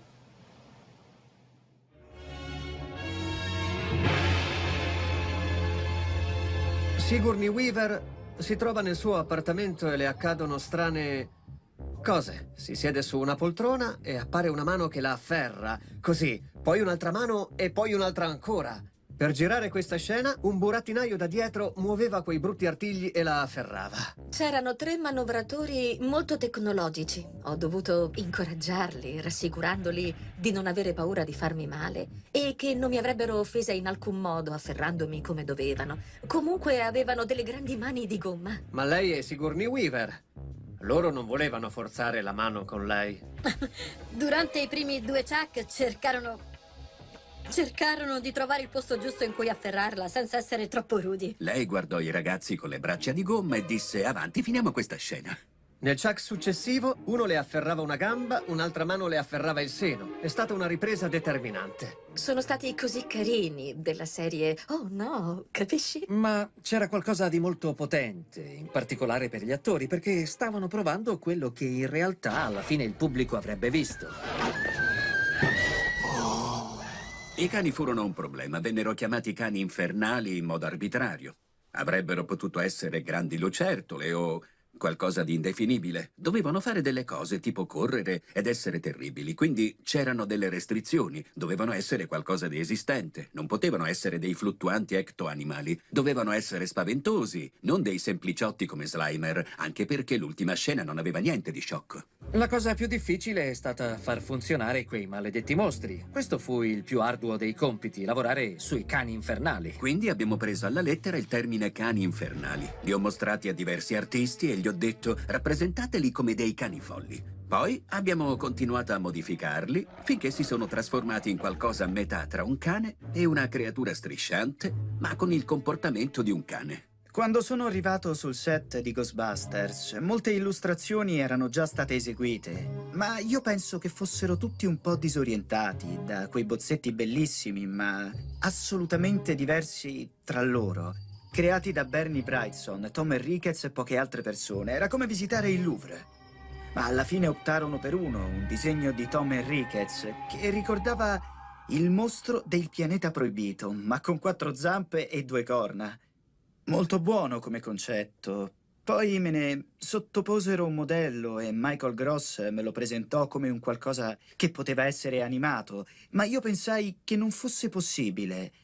Era molto fumettistico, voglio dire, era un'interpretazione totalmente legittima dello schizzo iniziale di Tom. A me chiesero come sarebbe stato il mio progetto. Così feci un modello della mia personale interpretazione più idonea, anatomicamente parlando.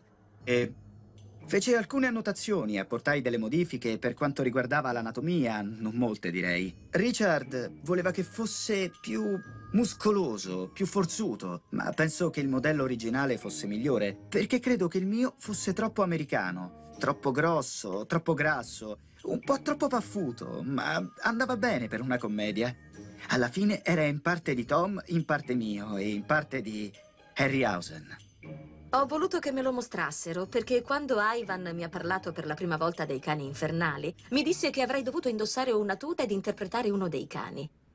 Pensava che fosse una delle idee più comiche del mondo, ma io venivo dal teatro, quindi non potevo essere un cane infernale. I cani vennero fatti in diverse scale. Ogni volta che un cane correva, veniva utilizzato un modello per stop motion. Quello originale fu realizzato da Randy Cook, che ha concretizzato l'animazione stop motion. Beh, io ho supervisionato non solo la scultura piccola che avevo realizzato, ma anche quella grande che aveva fatto Mike Osh e alla quale lui e Linda Frobos lavoravano di notte. Ricordo che le ultime due o tre notti prima di finire il lavoro, tutti noi collaborammo in team. Steve, Johnson, Linda Frobos, Mark Wilson ed io. Forse anche Billy Bryan, non ne sono sicuro.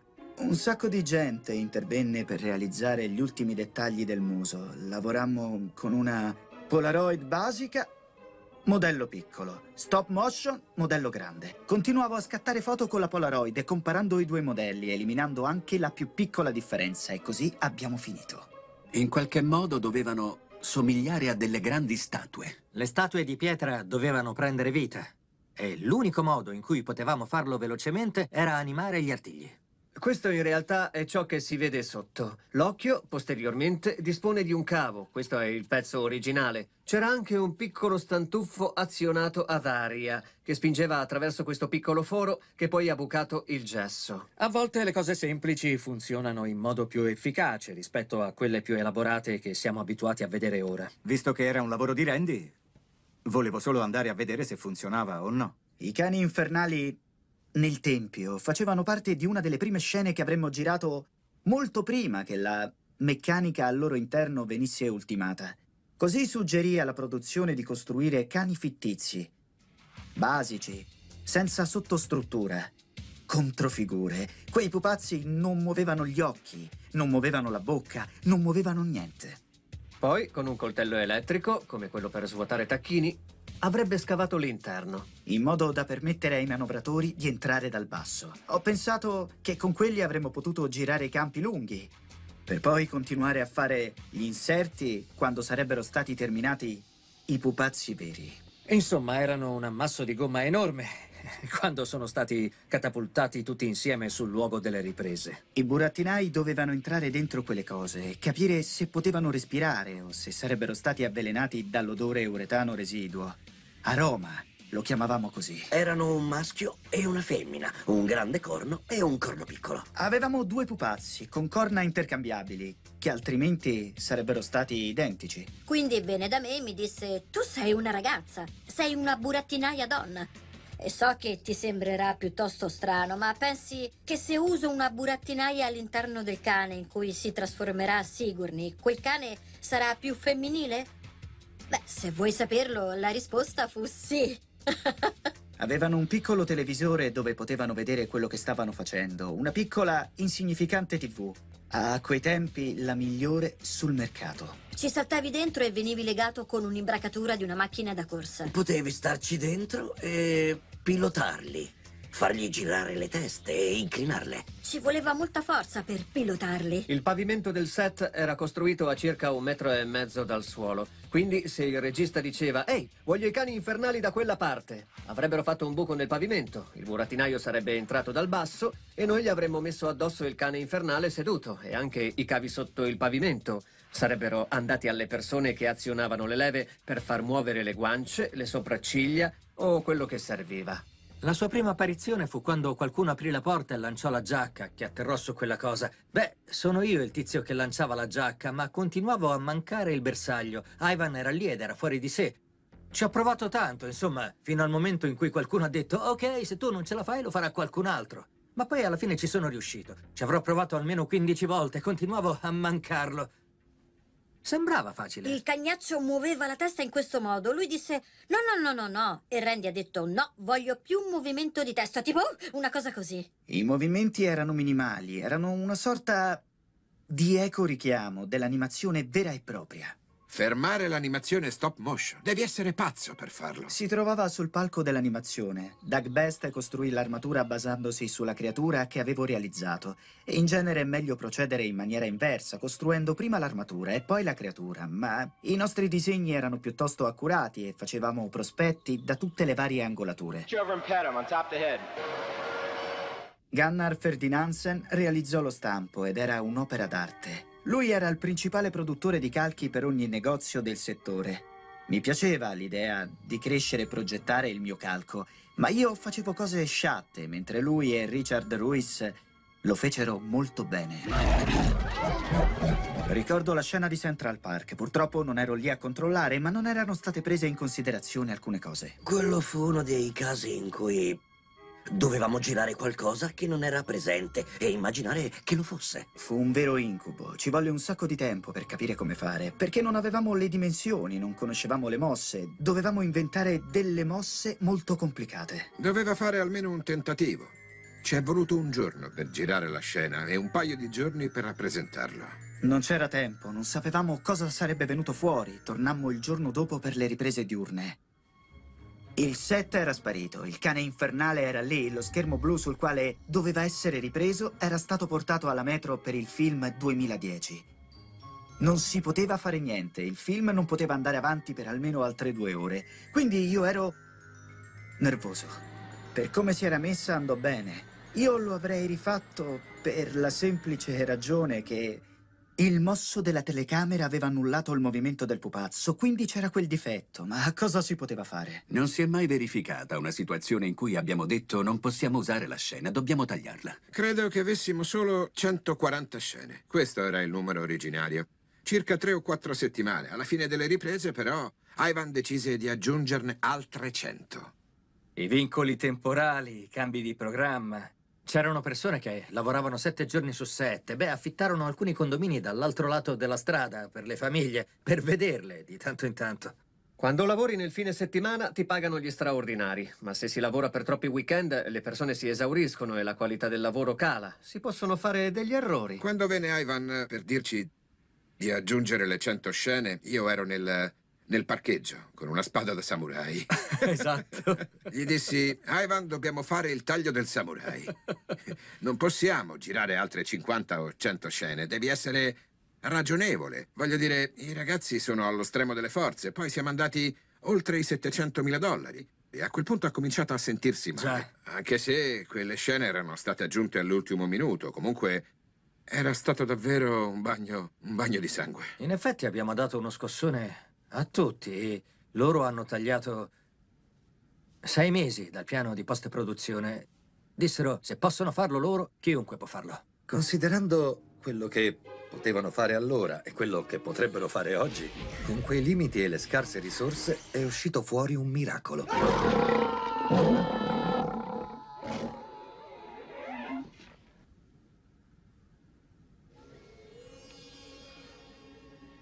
Quello che ho adorato di Dana è che prima era una persona normale e poi si trasforma in Azul. Era una cosa che già avevo fatto in teatro, una trasformazione completa nell'arco di, di dieci secondi. Ma nei film non succede mai una cosa del genere.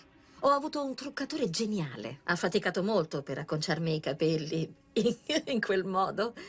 Ha usato prodotti per il trucco fosforescenti. È stato formidabile. Alla fine mi sono guardata ed era come se avessi infilato le dita in una presa e fossi diventata qualcun altro. Tra il vento, la luce, il trucco e tutto il resto, il bellissimo vestito che Tioni Odridge aveva fatto per me era una sorta di arancione fiammante.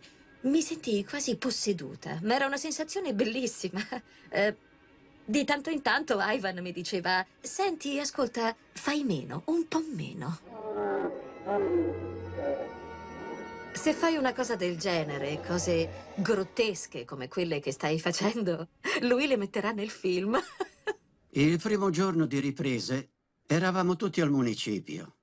Credo proprio fossimo nell'ufficio del sindaco o del suo vice. Ricordo che il sindaco Koch venne a salutarci. In quel momento era il sindaco di New York. Di tanto in tanto Bill faceva lavorare tutti insieme. Erano un gruppo davvero molto unito. Era facile sentirsi esclusi. Così cercavo di buttarmi nelle loro improvvisazioni. Loro si supportavano e non seguivano un copione, mentre io ero rigoroso, venivo dal teatro. Per loro era più... giriamo e vediamo cosa ne viene fuori. Bill Murray diceva dovrebbero conoscersi e dovrebbero avere un rapporto tale da potersi chiamare per nome. Poi disse che il mio nome sarebbe stato Landy, fu del tutto improvvisato, non era sul copione.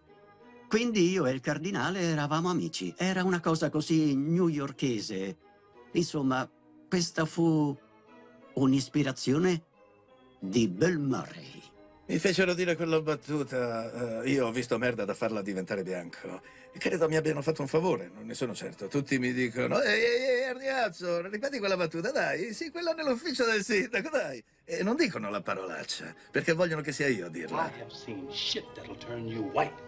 Adoro la battuta di Bill Murray quando si rivolge a Bill Atherton dicendogli non ha le palle. Battuta che Murray ha imparato ad apprezzare nel corso degli anni. Anni dopo ho incontrato William Atherton e gli ho detto... Hai visto? Alla fine Ghostbusters è stato fantastico. Insomma, ancora oggi quando vado in giro la gente mi urla Ehi, Eagle, sei un genio! Quel film ha avuto un grande effetto sulle nostre carriere, non è così? E lui mi disse sì. Camminavo lungo la 46esima strada. Il Criterion Theater si trova lì. Eh, Ghostbusters era in programmazione. Fuori dal teatro c'erano dei pullman con dei ragazzini al rientro dal campeggio. Io passai accanto a quel pullman e decine di ragazzini affacciati ai finestrini mi gridarono Ehi, senza palle! Non fu una bella cosa. Poi iniziai a ridere, eh, perché non era vero. Era una specie di circo. Eravamo tutti ammassati nella stanza e ognuno urlava sull'altro. E poi ricordo... Sì, ricordo Bill. Io stavo improvvisando, cercando lo scontro. Era come stare sul Titanic e all'improvviso appaiono Gianni e Pinotto. Insomma, non può essere che i tuoi ultimi minuti sulla Terra siano in quel modo. Io mi attenevo assolutamente al testo. Il testo va sempre onorato. C'è qualcosa di molto newyorkese al suo interno. Ricordo Ivan Reitman, il regista, mi suggerì di recitare a braccio. Io però gli dissi no. Gli dissi loro sono i comici. E io devo essere il più attendibile possibile. Perché io rappresento la massa, sono parte della realtà. Io sono quello scettico. Io sono il newyorkese. Chi saranno mai questi Ghostbuster? Insomma, andiamo. È stato divertente, ma era come lanciare tutto in aria e cercare di andargli appresso. Terrificante e bellissimo al tempo stesso. C'era questa enorme location al Central Park West. Credo fosse tra la 66esima e la 67esima, proprio dove il traffico non va solo da nord a sud, ma anche da est a ovest. Le autorità, quando capirono quello che avevamo in mente, andarono nel panico e revocarono i permessi. La revoca arrivò il giorno in cui stavamo girando la scena al municipio. All'improvviso non trovavamo più né Bill né Danny. Li abbiamo cercati per un'ora. Alla fine ricomparvero e dissero abbiamo parlato con il sindaco Koch. Visto che siamo al municipio, siamo andati a parlare con il vero sindaco. Sistemerà tutto e potremo fare le nostre riprese. È stato fantastico. La location era al 55 di Central Park West, che è proprio sulla strada del Mayflower Hotel dove alloggiavo io. Quindi potevo scendere dal letto e trovarmi sul set. Nel film il civico era 550, ma non esiste. Quell'edificio in particolare, se lo guardavi dal parco, presentava delle sfumature di colore. Alla base era più scuro e via via si schiariva fino ad arrivare in cima. È un bellissimo edificio Art Deco. Ogni volta che eravamo davanti al vero edificio a New York, guardando dal basso in alto, dovevamo usare qualcosa per coprire la cima. Invece, dall'alto in basso, dovevamo usare un dipinto. Abbiamo avuto qualche inconveniente con quell'edificio. Nella scena con la folla c'erano... c'erano tutte le comparse di New York. Erano tutti professionisti, tutti provenienti dal teatro. Tanti newyorkesi che vendevano t-shirt, è stata una scena molto significativa. Sono cresciuta a New York, sono nata qui e devo dire che non riesco a guardare quella scena senza piangere. Solo vedere tutti quei newyorkesi tanto diversi tra loro. Credo sia stato il primo film in cui ho fatto più lavoro extra. Furono quattro giorni. Due giorni e due notti di riprese. Bill Murray era un clown. Veniva a parlare con noi tra una ripresa e l'altra. Mi piaceva molto il nuovo movimento romantico. Io e il mio coinquilino ci eravamo messi in testa che dovessi somigliare a Tom Bailey dei Thompson Twins. Ma in realtà sembrava che avessi messo una ciotola in testa e tagliato i capelli intorno. Il mio coinquilino all'epoca mi aveva tinto i capelli di un colore pazzesco rosso fiamma. Il nome della tinta era Red Penny. Erano gli anni Ottanta. Quello che è interessante riguardo il film è che abbiamo dovuto girare il finale prima del resto. John DeCure ha progettato il set, un set pieno di rottami. Non abbiamo mai distrutto l'asfalto a Manhattan. Non potevamo scavare una buca.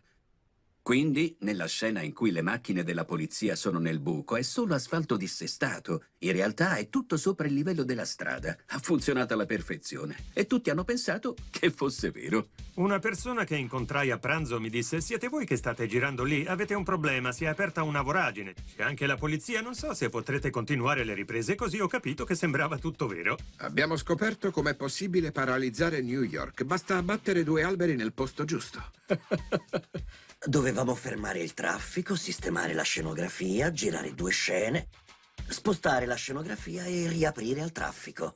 Paralizzare New York in quella zona è stato un vero incubo. I clacson suonavano all'infinito. Insomma, Pensavo, oh mio Dio, sono davvero in grado di farlo. Chi sarà il responsabile della location? Chi avrà corrotto? Siamo a New York. Chi avrà intascato il bottino?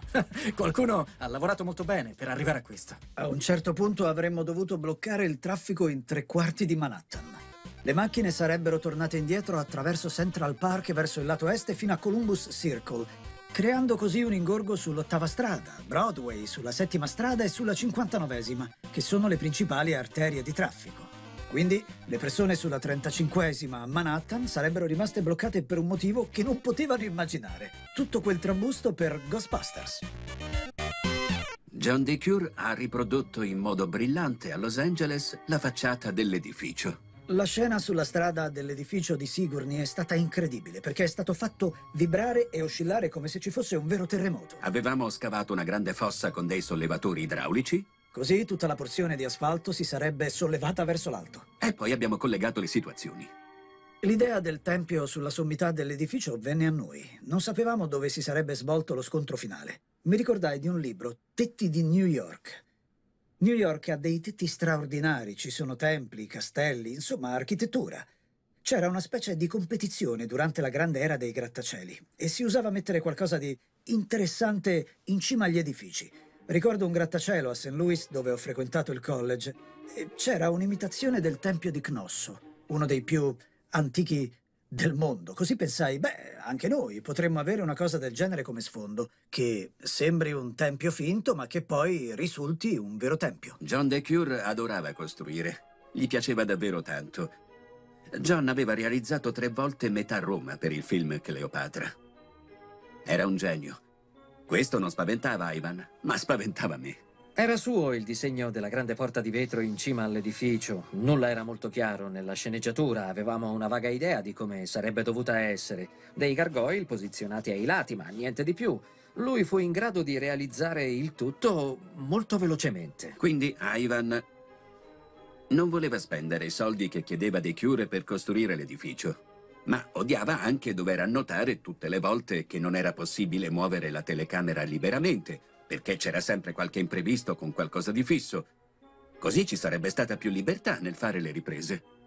La libertà era davvero importante, con gente come Dan Aykroyd, Harold Ramis e Bill Murray. Erano straordinari inventori, attori scrittori. C'erano tante riprese da fare lassù. Ivan pensò fosse meglio costruire qualcosa. Gli effetti speciali si potevano fare dopo. Bisognava costruire il cuore di quella cosa per fare le riprese da ogni angolazione e John DeCure gli disse non mi sfidare. Era in uno dei più grandi studi di Los Angeles, il numero 16, a Burbank. Sheldon Kahn, l'editore, mi raccontò una storia e io non gli credetti. Mi disse, quello studio è diventato così grande perché William Randolph Hearst sta girando un film. Hanno preso una scenografia esistente e tirata su per costruirne un'altra sotto. Io pensai che fosse una storia sciocca. Due giorni dopo, guardando un documentario su Hearst, appurai con i miei occhi. C'erano i filmati di come erano riusciti a realizzare questo progetto. This tremendous sound stage is too small to hold the big ensembles planned by Warner Brothers for Cain and Mabel, a new musical production. So they're making it 35 feet higher. Quindi il palco è alto circa 28 metri e ha costruito quel set andando direttamente sulla cima. Il primo pensiero quando vedemmo il set fu wow, chissà quanti soldi hanno speso per fare tutto questo. Anche Steven Spielberg venne a vederlo, cosa davvero inusuale, perché lui era abituato a lavorare solo nei teatri di posa. Uscì persino un articolo sul giornale al riguardo. Era un set straordinario. Fu una giornata incredibile. Continuavamo a ripetere, guarda cosa sono capaci di fare, possono realizzare qualunque cosa. Beh, sì, quello che serve è tempo e denaro. Non avevo mai visto nulla di così maestoso in un film. Voglio dire, prima di tutto era bellissimo, tanto che pensai, wow, sono realmente in questo film. Ricordo di essermi arrampicato perché dovevo girare una scena dall'alto e mentre salivo vedevo iniziali e date. Mi sono detto, oh, visto che sei qua su, potresti incidere le tue iniziali e data di nascita. L'incaricato del palcoscenico che ci aveva portato lassù mi ha preceduto dicendomi, sai, quelle sono le iniziali delle persone che sono cadute dalle impalcature.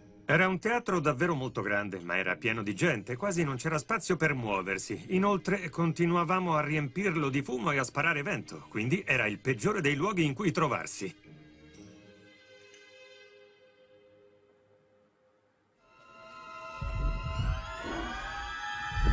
Volevano tirar fuori la statua della libertà dall'East River, ma poi hanno desistito. Comunque mettere al suo posto l'uomo della pubblicità dei marshmallow...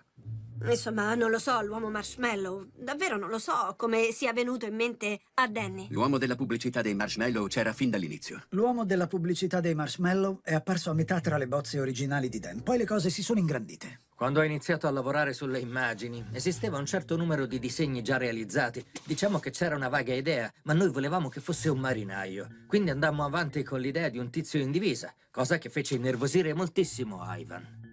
Linda Frobos aveva trovato lavoro in Ghostbusters, era una scultrice. E loro le chiesero se conosceva qualcuno che potesse realizzare l'uomo delle pubblicità dei marshmallow e interpretarlo. Lei sapeva che avevo lavorato per Shakespeare, ma era una cosa molto diversa. I disegni erano già fatti, i progettisti avevano sviluppato immagini, quindi sapevano perfettamente come doveva essere e mi fecero vedere i progetti. Il modello scolpito aveva un'aria sciocca.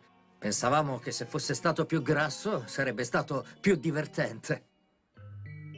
La prima versione realizzata era in morbida gomma piuma. La troupe era molto soddisfatta dei risultati raggiunti. Eravamo quasi alla fine, ma c'era un piccolo problema. Quando il pupazzo con me all'interno camminava, le gambe muovendosi comprimevano la gomma piuma e sembrava una vagina. Dovevamo fare qualcosa. Così passammo un po' di tempo pensando come risolvere il problema. Poi arrivò John Bird come consulente e ci suggerì di realizzare il corpo in fibra di vetro. Questo mi spaventò. Non volevo un corpo in fibra di vetro, non volevo entrare in un corpo in fibra di vetro, non volevo avere... non volevo che le mie braccia penzolassero all'interno di una cosa tanto rigida. Quindi ho lavorato con altri materiali e abbiamo sviluppato la struttura interna che avremmo usato per le riprese. È stato molto meglio. Abbiamo presentato il modello. Pensavamo che fosse grandioso. Era in polistirolo. Un omino di polistirolo con la... con la testa sopra. Non era finita e non sembrava molto un marshmallow. A quel punto Ivan disse, non ci posso credere. Sto basando tutto il film su questa cosa. Ricordo che era sempre nervoso perché nessuno aveva mai fatto una cosa del genere. Stava rischiando per qualcosa al di fuori della norma. Certo, la sua carriera non sarebbe finita, ma sarebbe stato giudicato male se avesse fallito. Dovrà funzionare o non lavoreremo mai più. Mancavano solo poche settimane e per tutto il tempo noi tenevamo le dita incrociate dicendo speriamo che funzioni. Ho dovuto dargli fiducia, insomma, si sono impegnati. Doveva funzionare. Discutevamo su quanto dovesse essere grande l'uomo marshmallow. Sì, esatto. Fu dura insomma decidere quanto dovesse essere grande e quanto lo sarebbe stato realmente. 45, 60 metri. Qualcuno diceva 38 e qualcun altro invece 30. Ivan disse, ok, ve lo dico io quanto deve essere alto. 34,29 metri, ecco. Ho deciso. Quando degli artisti lavorano insieme, si aiutano a vicenda. Questa fu la bellezza del team per l'uomo marshmallow. C'era Linda Frobos, che ha realizzato la maggior parte delle sculture del volto, e poi io e un altro paio di ragazzi fantastici che assistevano Bill nella costruzione generale. C'erano tanti fogli di gomma, enormi fogli di gomma piuma. Gente che tagliava, che disegnava e che poi tagliava con angolazioni specifiche per ottenere le sfere giuste, quasi come fare modelli che si usano per fare vestiti. Doveva avere una cerniera, in modo che l'artista potesse entrare ed uscire, quindi la cerniera era sempre fuori campo rispetto alla telecamera, in modo che il costume sembrasse senza cuciture. C'erano svariati costumi e strati su strati di gomma piuma, sui quali, quando qualcuno era stanco, si tuffava per dormire. Si lavorava tutta la notte. Guardavo fuori attraverso la bocca. Era alto circa due metri. Io sono 1,70. Se fossi stato più alto avremmo dovuto usare più gomma piuma. L'interno della vera testa era di fibra di vetro. Ci sarebbero stati gli occhi dentro e dei meccanismi per far muovere le guance o far aprire la bocca. La cosa davvero divertente fu controllare i movimenti della bocca dell'uomo marshmallow. È stato un lavoro stupendo. Discovery face, eyes to the right. One and two and three and go. All'interno c'era una cintura di gomma piuma che mi aderiva quando mi muovevo. Trasferivo un po' dei miei movimenti anche all'esterno. Si confrontava sempre con il direttore della fotografia per accertarsi che l'andamento dell'uomo della pubblicità fosse abbastanza soffice. L'indicazione era, è necessario che sembri pesante perché è enorme, ma leggero perché è un marshmallow. Quindi che devo fare? Mentre camminavo dovevo dire boom, boom, boom per scandire i passi correttamente, in modo che, riprodotta poi in modalità overcranking, risultasse più lento. Mi dicevano quanto dovevo essere veloce, poi cercavano di convertire i miei passi nella versione utile e quindi io boom, boom, boom Abbiamo fatto le riprese a 72 fotogrammi al secondo. Ne è venuto fuori un ciclo di camminate animate, chiamate in gergo doppio rimbalzo, già usata con Topolino. Era davvero ridicolo. Una specie di cartone animato anni 30. Eravamo nel bel mezzo della lavorazione, si avvicinava la scadenza. Lo stress era alle stelle e ci chiedevamo ce la faremo? Stavo guidando lungo Crescent Heights verso Sunset quando vidi il cartellone di Ghostbusters. La data dell'uscita era prossima, mancavano circa tre settimane e mezzo, ma era troppo poco. Dovevamo girare la scena in strada. Mancava ancora molta roba. Sono quasi certa che non avevamo girato neanche la scena dell'edificio che esplode. E già c'era il cartellone e dicevamo come ci riusciremo? Temevo che ci sarebbe stato un caldo allucinante in quel pupazzo. E fu così. Ma per mia fortuna, visto che era vuota e flessibile, quando muovevo le braccia entrava ed usciva aria dalla bocca. Immaginate di essere avvolti dalla gomma piuma come in un materasso e di doverci vivere dentro sotto delle luci caldissime. Una cosa di gomma piuma gigantesca nella quale devi camminare e ballare. E immaginate di doverlo ripetere più e più volte nella gomma piuma e sudi dentro questa cosa enorme giorno dopo giorno. Se guardi alcune foto del backstage, puoi trovare i miei, i miei assistenti fare questo. Bill era un ragazzo davvero molto, molto curato, ma... mm, C'era una scena all'inizio, oh cielo, in cui dovevamo fingere che fosse davvero disgustoso, ma lo era. Si toglieva quel testone di fantasma e diceva wow, ragazzi! Ma poi hanno fatto qualcosa di grandioso per lui e la sua salute, inserendo aria condizionata attraverso un tubo che passava dal di dietro, affinché ci fosse una temperatura accettabile. La cosa interessante per me riguardo la taglia dell'uomo Marshmallow era eh, impostare la scala della miniatura in modo da potergli costruire l'ambiente intorno. Costruimmo una miniatura del Central Park West Road e un po' del parco accanto per far camminare l'uomo Marshmallow. Ci fu una spaccatura nel mezzo della ripresa. Era un grande set, riproduceva una strada molto lunga. Quando Bill iniziò a camminare sulla strada, anche i cavi lo seguivano. Noi venivamo spinti sotto la scenografia in un carrellino di legno che avevano costruito appositamente per noi, con un monitor con dei cavi sotto. Manovravamo tutto da lì. Con quella sorta di tecnologia semplificata riuscivamo a fare tutto quel lavoro. È uno dei miei film preferiti, forse perché eravamo lì, ognuno col suo monitor e tutto accadeva sopra di noi. Potevamo sentire i passi di Bill sulla testa e potevamo vederlo mentre manovravamo il pupazzo. Ci sentivamo come se fossimo insieme a lui mentre qualcuno ci spingeva. È stato divertente. C'era uno storyboard già disegnato in cui si vedeva un'auto della polizia che viene schiacciata. Noi eravamo pronti a farlo, c'era l'idea, ma poi decisero di non farlo più.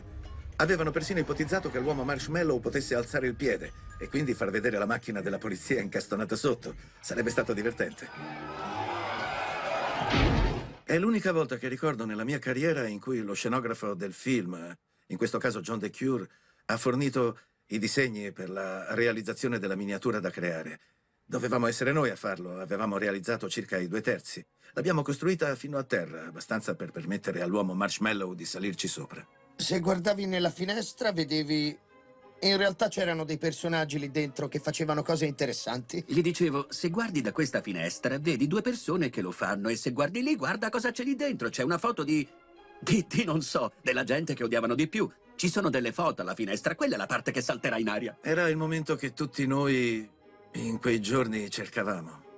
E il nostro piccolo momento evasivo. Nel film non si sarebbe visto, ma era un modo per scaricare tutte le tensioni. Beh, durante la... la prima fase speravo tanto che non dovessimo bruciare davvero il costume. Pensavo ci potesse essere un modo per simularlo. Richard ripeteva: No, gli daremo fuoco. Che pensavi? Beh, non ero io nella scena del fuoco, c'era uno stuntman. Avevamo realizzato 18 costumi, ne bruciammo soltanto 17.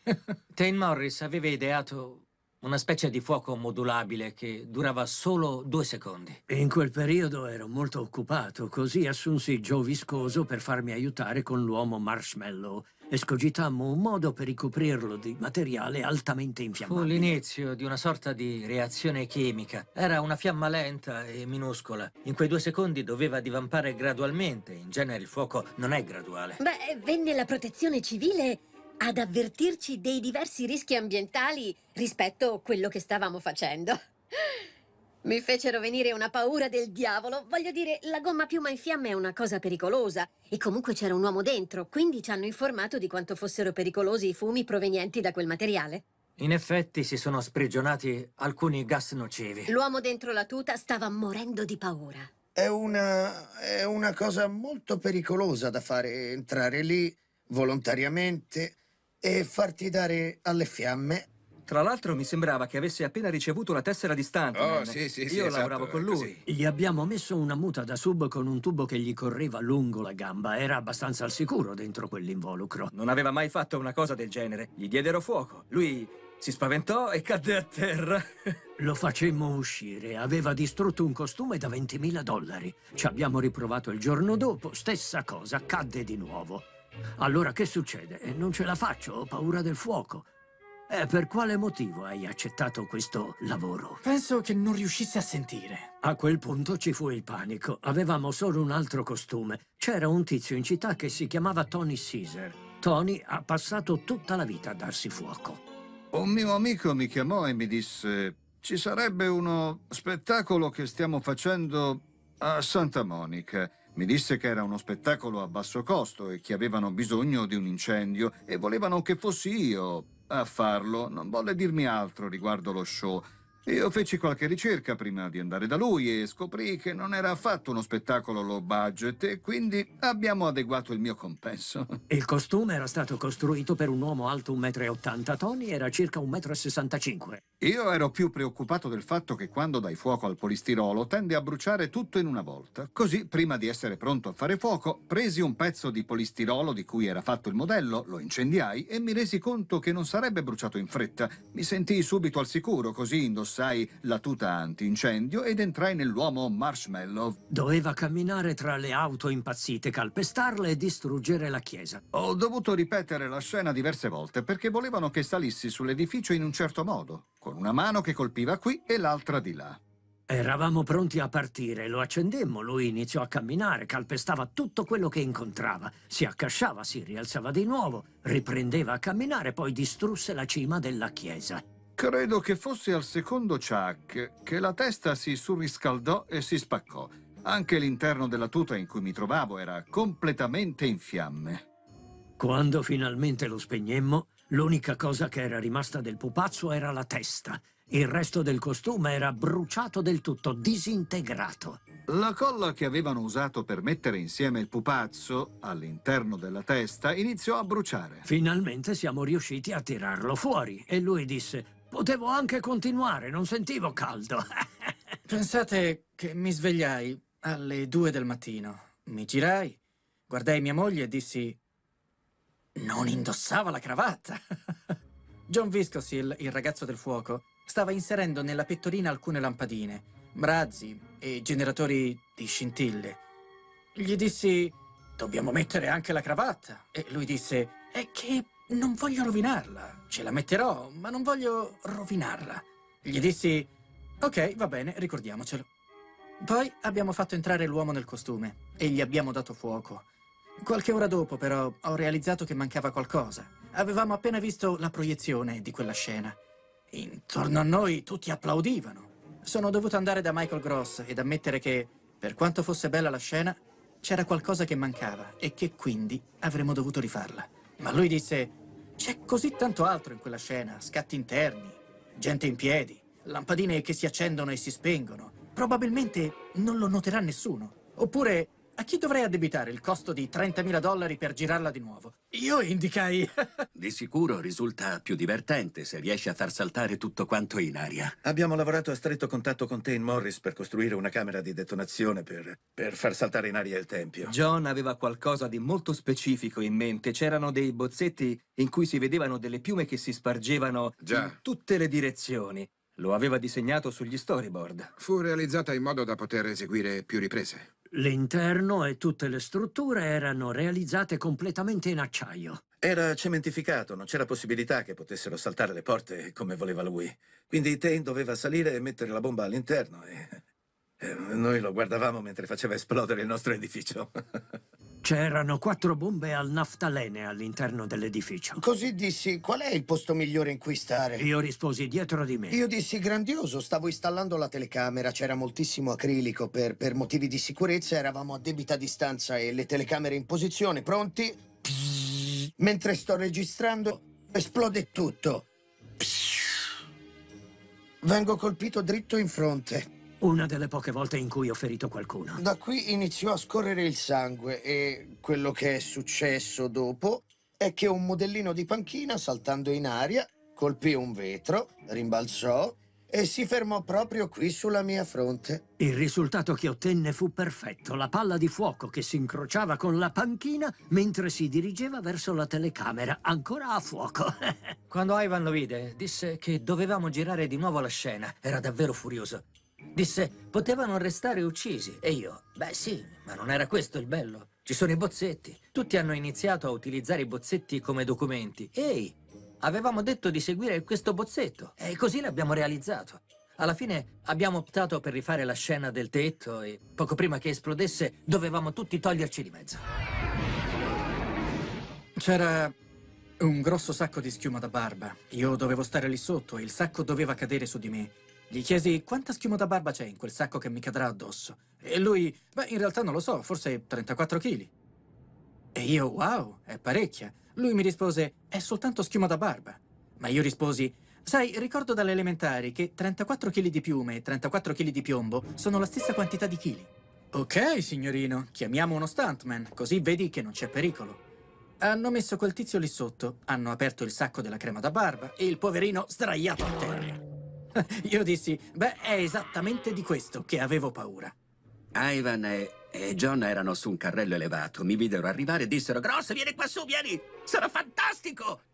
E così ne misero di meno e la scena la feci io. Salì sul carrello e loro lasciarono cadere i marshmallow, è stato incredibile. Glieli hanno scaricati addosso. Tutti insieme. Avevamo il permesso per girare fino alle 10 di sera e alle 10 di sera il nostro carissimo amico del Dipartimento di Polizia di New York divenne il nostro peggior nemico. Guardie, togliete questa roba da qui, capito? Via tutto! È sparito tutto in un soffio. Decidemmo che il film era pronto per la proiezione. C'erano delle schede da compilare. È compito degli operatori del marketing decidere i punti di forza. A prescindere da questo, il film deve comunque finire. A quel tempo, Seattle Washington era il posto in cui si andava per i controlli. Al controllo dicemmo, è un capolavoro. Stiamo segnando gli anni 90, abbiamo fatto centro. Così tornammo al nostro jet privato e ci affrettammo a tornare a Los Angeles. Ognuno di noi aveva delle schede e guardandole tutti dicevamo Sentite questo, sinceramente è il migliore film mai realizzato. Il miglior film di sempre. Eravamo lì che lanciavamo in aria quelle schede tutti impazziti. Avevamo capito che era buono. Più che buono. È stato fantastico alla proiezione di prova. Tutti ridevano. Abbiamo capito di aver fatto qualcosa che la gente avrebbe amato. Non ricordo la prima proiezione di Ghostbusters, però ricordo la festa di chiusura, ma non riuscimmo ad entrare. La cosa bella è che eravamo lì con tutta la troupe, ma c'era anche gente che non aveva visto niente del film. C'erano gli impiegati Quelli che avevano partecipato alle azioni dal vivo. Insomma, gente che non sapeva come sarebbe venuto il film. Io non riuscivo a credere a quanto fosse bello e quanto fosse elettrizzante farne parte. Insomma, aspettavo i titoli di coda. A quel punto abbiamo capito che sui titoli di coda non c'erano tutti i nomi. Mia moglie si voltò verso di me e disse Allora, dove sei andato ogni giorno per un anno? Ah, Devi credermi, io c'ero e ho lavorato nel film. Fu comunque casuale. Io avevo presentato la lista di tutti quelli che avevano lavorato al film. Circa 160 persone avevano lavorato in Ghostbusters per la Boss Film, ma di tutti loro almeno 100 non vennero menzionati nei titoli di coda. E quando dico lavorato intendo 20 ore al giorno, per 6 o 7 giorni a settimana. Le persone che avevano fatto cose importanti vennero cancellate dalla lista, mentre quelle che avevano fatto cose insignificanti erano presenti. Per qualche ragione, la produzione disse che non si potevano mettere tutti quei nomi. Forse avevano finito le lettere. Poi ci fu la festa di chiusura sulla spiaggia e Richard mi disse ho pubblicato un articolo su Variety in cui ho citato tutte le persone che hanno lavorato per Ghostbusters e tutti quelli non citati sui titoli di coda. Si stava scusando con me, ma anche con ogni singola persona che era rimasta fuori. Ed io pensai che fosse stato molto corretto. Non ho visto il film fino alla sua presentazione e quando andai alla prima fu davvero fantastico. Eravamo davvero sbigottiti e io non potevo crederci. Insomma, l'uomo dei marshmallow sembrava così reale che tutti eravamo... "Uh". Il grande film che in quel momento stavano tutti aspettando era Indiana Jones e il Tempio Maledetto. Noi eravamo un po' fuori dai giochi, ma la voce che il nostro fosse un film divertente si sparse velocemente. Mentre tu stai guidando la tua auto, Ray Parker entra in scena e ti dice ho appena visto il vostro film. È stato emozionante lavorare in un film del genere. Era un film diabolico, spregiudicato, pieno di attori comici e mostri davvero pazzeschi. Persone come Dan Aykroyd, Bill Murray, Harold Ramis e Ivan Reitman sono divertenti e non hanno un grande ego, ma vogliono solo vincere e fare le cose al meglio. Curano tutti i dettagli, ogni sfumatura della storia e dello script, le interpretazioni e ogni battuta. Queste meravigliose persone si sono messe insieme e collaborando hanno creato un capolavoro. Tutta la città ne ha tratto beneficio, è stato stimolante. Non abbiamo nemmeno osato pensare che sarebbe stato il miglior film dell'anno. Pensavamo che sarebbe stato buono. Onestamente ho pensato che al massimo sarebbe stato un classico. A un certo punto eravamo i primi al box office e lo siamo stati credo per circa 5 o 6 settimane di fila. È stato un ottimo modo di iniziare le nostre carriere nel mondo del cinema. Robert Goizueta, ex amministratore delegato della Coca-Cola, non ha gradito il film finché i loro incassi non aumentarono di 250 milioni di dollari. A quel punto fu molto felice. Per me è difficile ammetterlo perché sono incredibilmente competitivo, ma Ivan ha fatto un lavoro straordinario. In effetti mischiare generi, in particolare commedie, commedie horror, fantascienza, diventa una cosa difficile, in quanto uno dei generi tende a indebolire l'altro, ma, ma noi l'abbiamo fatta franca. Le persone del settore, invidiose di noi, hanno dovuto dire «Oh, wow!» Erano comunque felici per noi. Il potente messaggio di Ghostbusters è che non importa che mostri creiamo nel mondo. Perché se abbiamo il coraggio, gli strumenti, la tecnologia, il talento e la forza, siamo in grado di affrontare ogni cosa.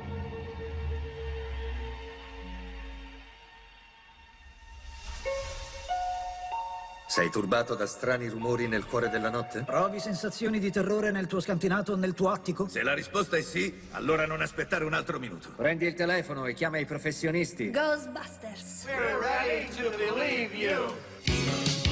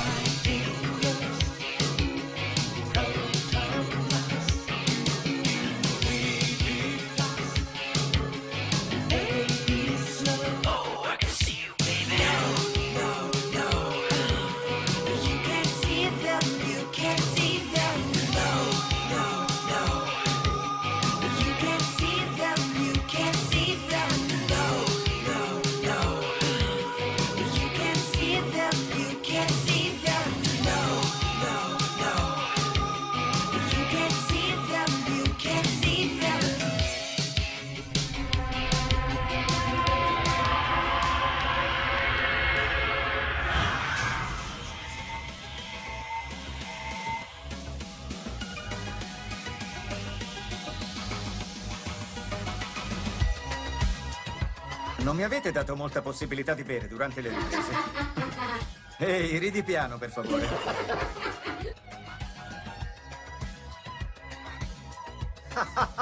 Oh mio Dio, sono più sorpreso di quanto non lo sia tu.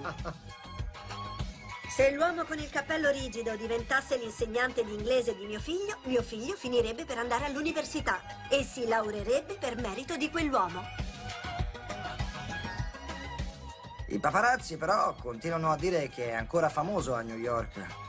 Insomma, se lo affronti, lui conosce il karate e non, non è possibile. Mi ha fatto vivere un momento davvero difficile a Central Park West. C'era anche un altro uomo piuttosto grosso vestito come un vero ebreo. Si era stufato di Steve, lo afferrò, gli fece attraversare Central Park West e lo lanciò al di là del muro. Poi tornò indietro e disse quell'uomo era irritante. E io, sì, quell'uomo era davvero irritante. Let's make some.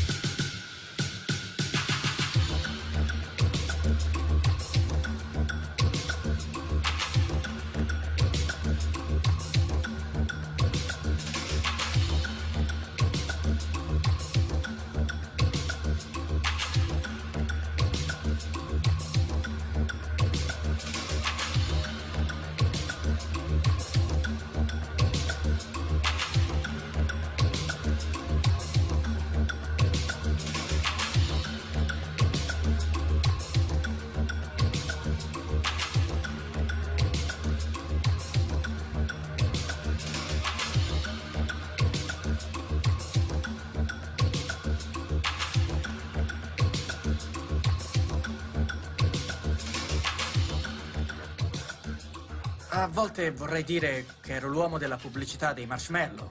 E se qualcuno non ci credesse...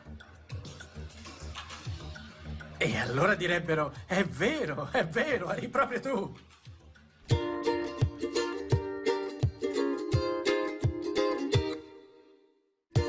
I'm a little ghostbuster, Sigourney is my name. This picture cost a lot of bread, so let's hope it makes the same.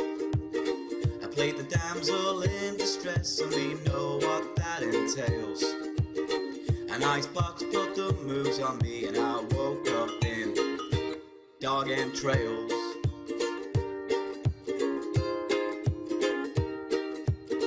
I was attacked by leaping eggs molested by a chair. Levitated more than once, I think that is fair. I blown away and barbecued, devoured by terror pooch.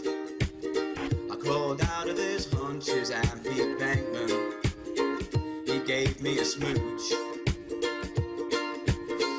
I think in every dangerous scene I had some part to play. My thanks and my affection to the special effects. You really blew me away.